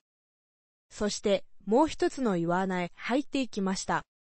しばらく進みますと、向こうの方に何かもやもやとうごめいているものがあります。ひどく大きな気味の悪いものでした。明治は伝統の光をその方に差し付けました。すると、もやもやしたものの姿がはっきり見えてきました。それは人間の2倍もある巨大なカニだったのです。それが飛び出した二つの目でこちらを睨みつけ、大きなハサミを振り立て、不気味な八本の足でガサガサと向こうの方へ張っていくのです。お化けガニです。明治は自分の目では見ていないのですが、いつか、はやぶさ丸の近海引き上げのロープを切ってしまったあのお化けガニです。本当にそんな大きなカニがいるわけはありません。鉄板で作ったカニです。そしてその中に二重面相が隠れているのでしょう。明治がその方へ近づくとお化けガニはさっと逃げ出し、こちらが立ち止まるとカニも止まって飛び出した目玉をくるくる回し、巨大なハサミを振り立てて、ここまで置いて、というような格好をします。お化けガニは八本の足で横ばいをするのですから、とても逃げ足が速くて、さすがの命地にもなかなか捕まりません。ホラー穴は上り坂になり、だんだん、それが急になってきました。命地は大ガニをどこまでも追っていきます。こちらがパッと飛びつくと、カニの方はあさっと逃げる。その早いこと、どうしても捕まりません。ふと気がつくと、向こうの方がぼーっと明るくなってきました。おや、変だなと思ってよく見ますと、このホラー穴には出口があって、そこから外の光が差し込んでいるのでした。随分坂道を登ったのですから、その出口はよほど高いところに開いているものでしょう。お化けガニは恐ろしい速さでその出口に向かって突き進んでいきました。そこにはちょうどトンネルの出口のように丸い穴が開いていて眩しいほどの明るさです。巨大なカニの醜い姿がその出口に真っ黒な影になって立ち塞がったかと思うと穴の外へさっと消えてしまいました。明治は驚いてその穴に駆け寄り、外を覗いたのですが、一目見るとクラクラっとめまいがして、思わず首を引っ込めました。その出口は高い高い断崖の上に開いていたのです。切り立ったような岩が、はるかかの方まで続いて、そこに泡立つ海がありました。海面から何十メートルという高さです。そっと首を出してみますと、お化けガニはそのまっすぐの岩肌に八本の足で捕まって下へ下へと降りていきます。本当のカニではありませんから、そんなにうまく岩がつかめるものではありません。今にも滑り落ちそうで、見ているだけでもお尻の辺がくすぐったくなるようです。あ、明治は思わず声を立てました。お化けガニがずるずると滑ったのです。一度滑り出せばとても止まるものではありません。八本の足が岩肌から離れてしまって、大ガニはさーっと下へ落ちていきました。そしてみるみる形が小さくなり、泡立つ海の中へ消えてしまいました。海に落ちても大ガニの中の二重面相は死ぬようなことはなかったでしょう。いつかもあの大ガニは海の底を平気で歩いていたのです。きっとカニの中にも酸素のボンベがついていて二重面相はそれで息をして海の底を這い回ることができるのでしょう。彼はそうしてどこかへ逃げてしまうのではないでしょうか。しかし用心深い名知探偵はこういう場合もちゃんと考えに入れていました。さっき入り口の岩を動かしてこの岩穴に入った時大急ぎで手帳の紙を破って鉛筆で何か書いてそれを岩の隙間から外へ落としておいたのです。狩猟を追っかけてきた8人の勇士や小林少年がそれを見つけたに違いありません。そしてそこに書いてある指図に従って8人の裸の勇士は水中メガネとボンベと水かきをつけて海底の洞窟の外へ泳ぎ出し、そこに待っていた5人の勇士と一緒になって敵が海底に姿を現すのを待ち構えていることでしょう。それは明治が考えた通りに運びました。13人の裸の勇士は洞窟の入り口のあたりを活発に泳ぎ回っていたのです。そこへ海の上の方から大きなものが激しい勢いで落ちてきてスーッと海底に沈んできました。見覚えのあるお化けガニです。13人の勇士はそれを見ると八方から泳ぎ寄ってお化けガニに組みついていきました。薄暗い海底の大格闘です。大ガニは巨大なハサミを振り立て、八本の足をべちゃくちゃに動かして勇士たちを振りほどこうとしましたが、一匹と十三人ではいくらお化けガニでも叶うはずがありません。長い時間の恐ろしい戦いの後、お化けガニはとうとうぐったりとなってしまいました。13匹のアリがコオロギの死骸を運ぶような具合に勇士たちは天でにお化けガニの足を引っ張って海面に浮き上がってきました。すると、そこに味方の先行艇がハッチの蓋を開いて待ち構えていたのです。13人の勇士は先行艇に登りつき、お化けガニを担いでハッチの中へ落とし込みました。それから1時間ほど後、はやぶさ丸の甲板には明智探偵と小林少年と13人の勇士が戻っていました。そして甲板の床にはお化けガニの殻が投げ出され、そのそばに怪人二十面相が息も絶え絶えに横たわっていました。そこには宮田さんや賢吉少年の顔も見えました。それを取り巻く大勢の船員は両手を高く上げて万歳を叫んでいました。その後、太陽丸の金塊が残らず宮田さんの手に入ったことは申すまでもありません。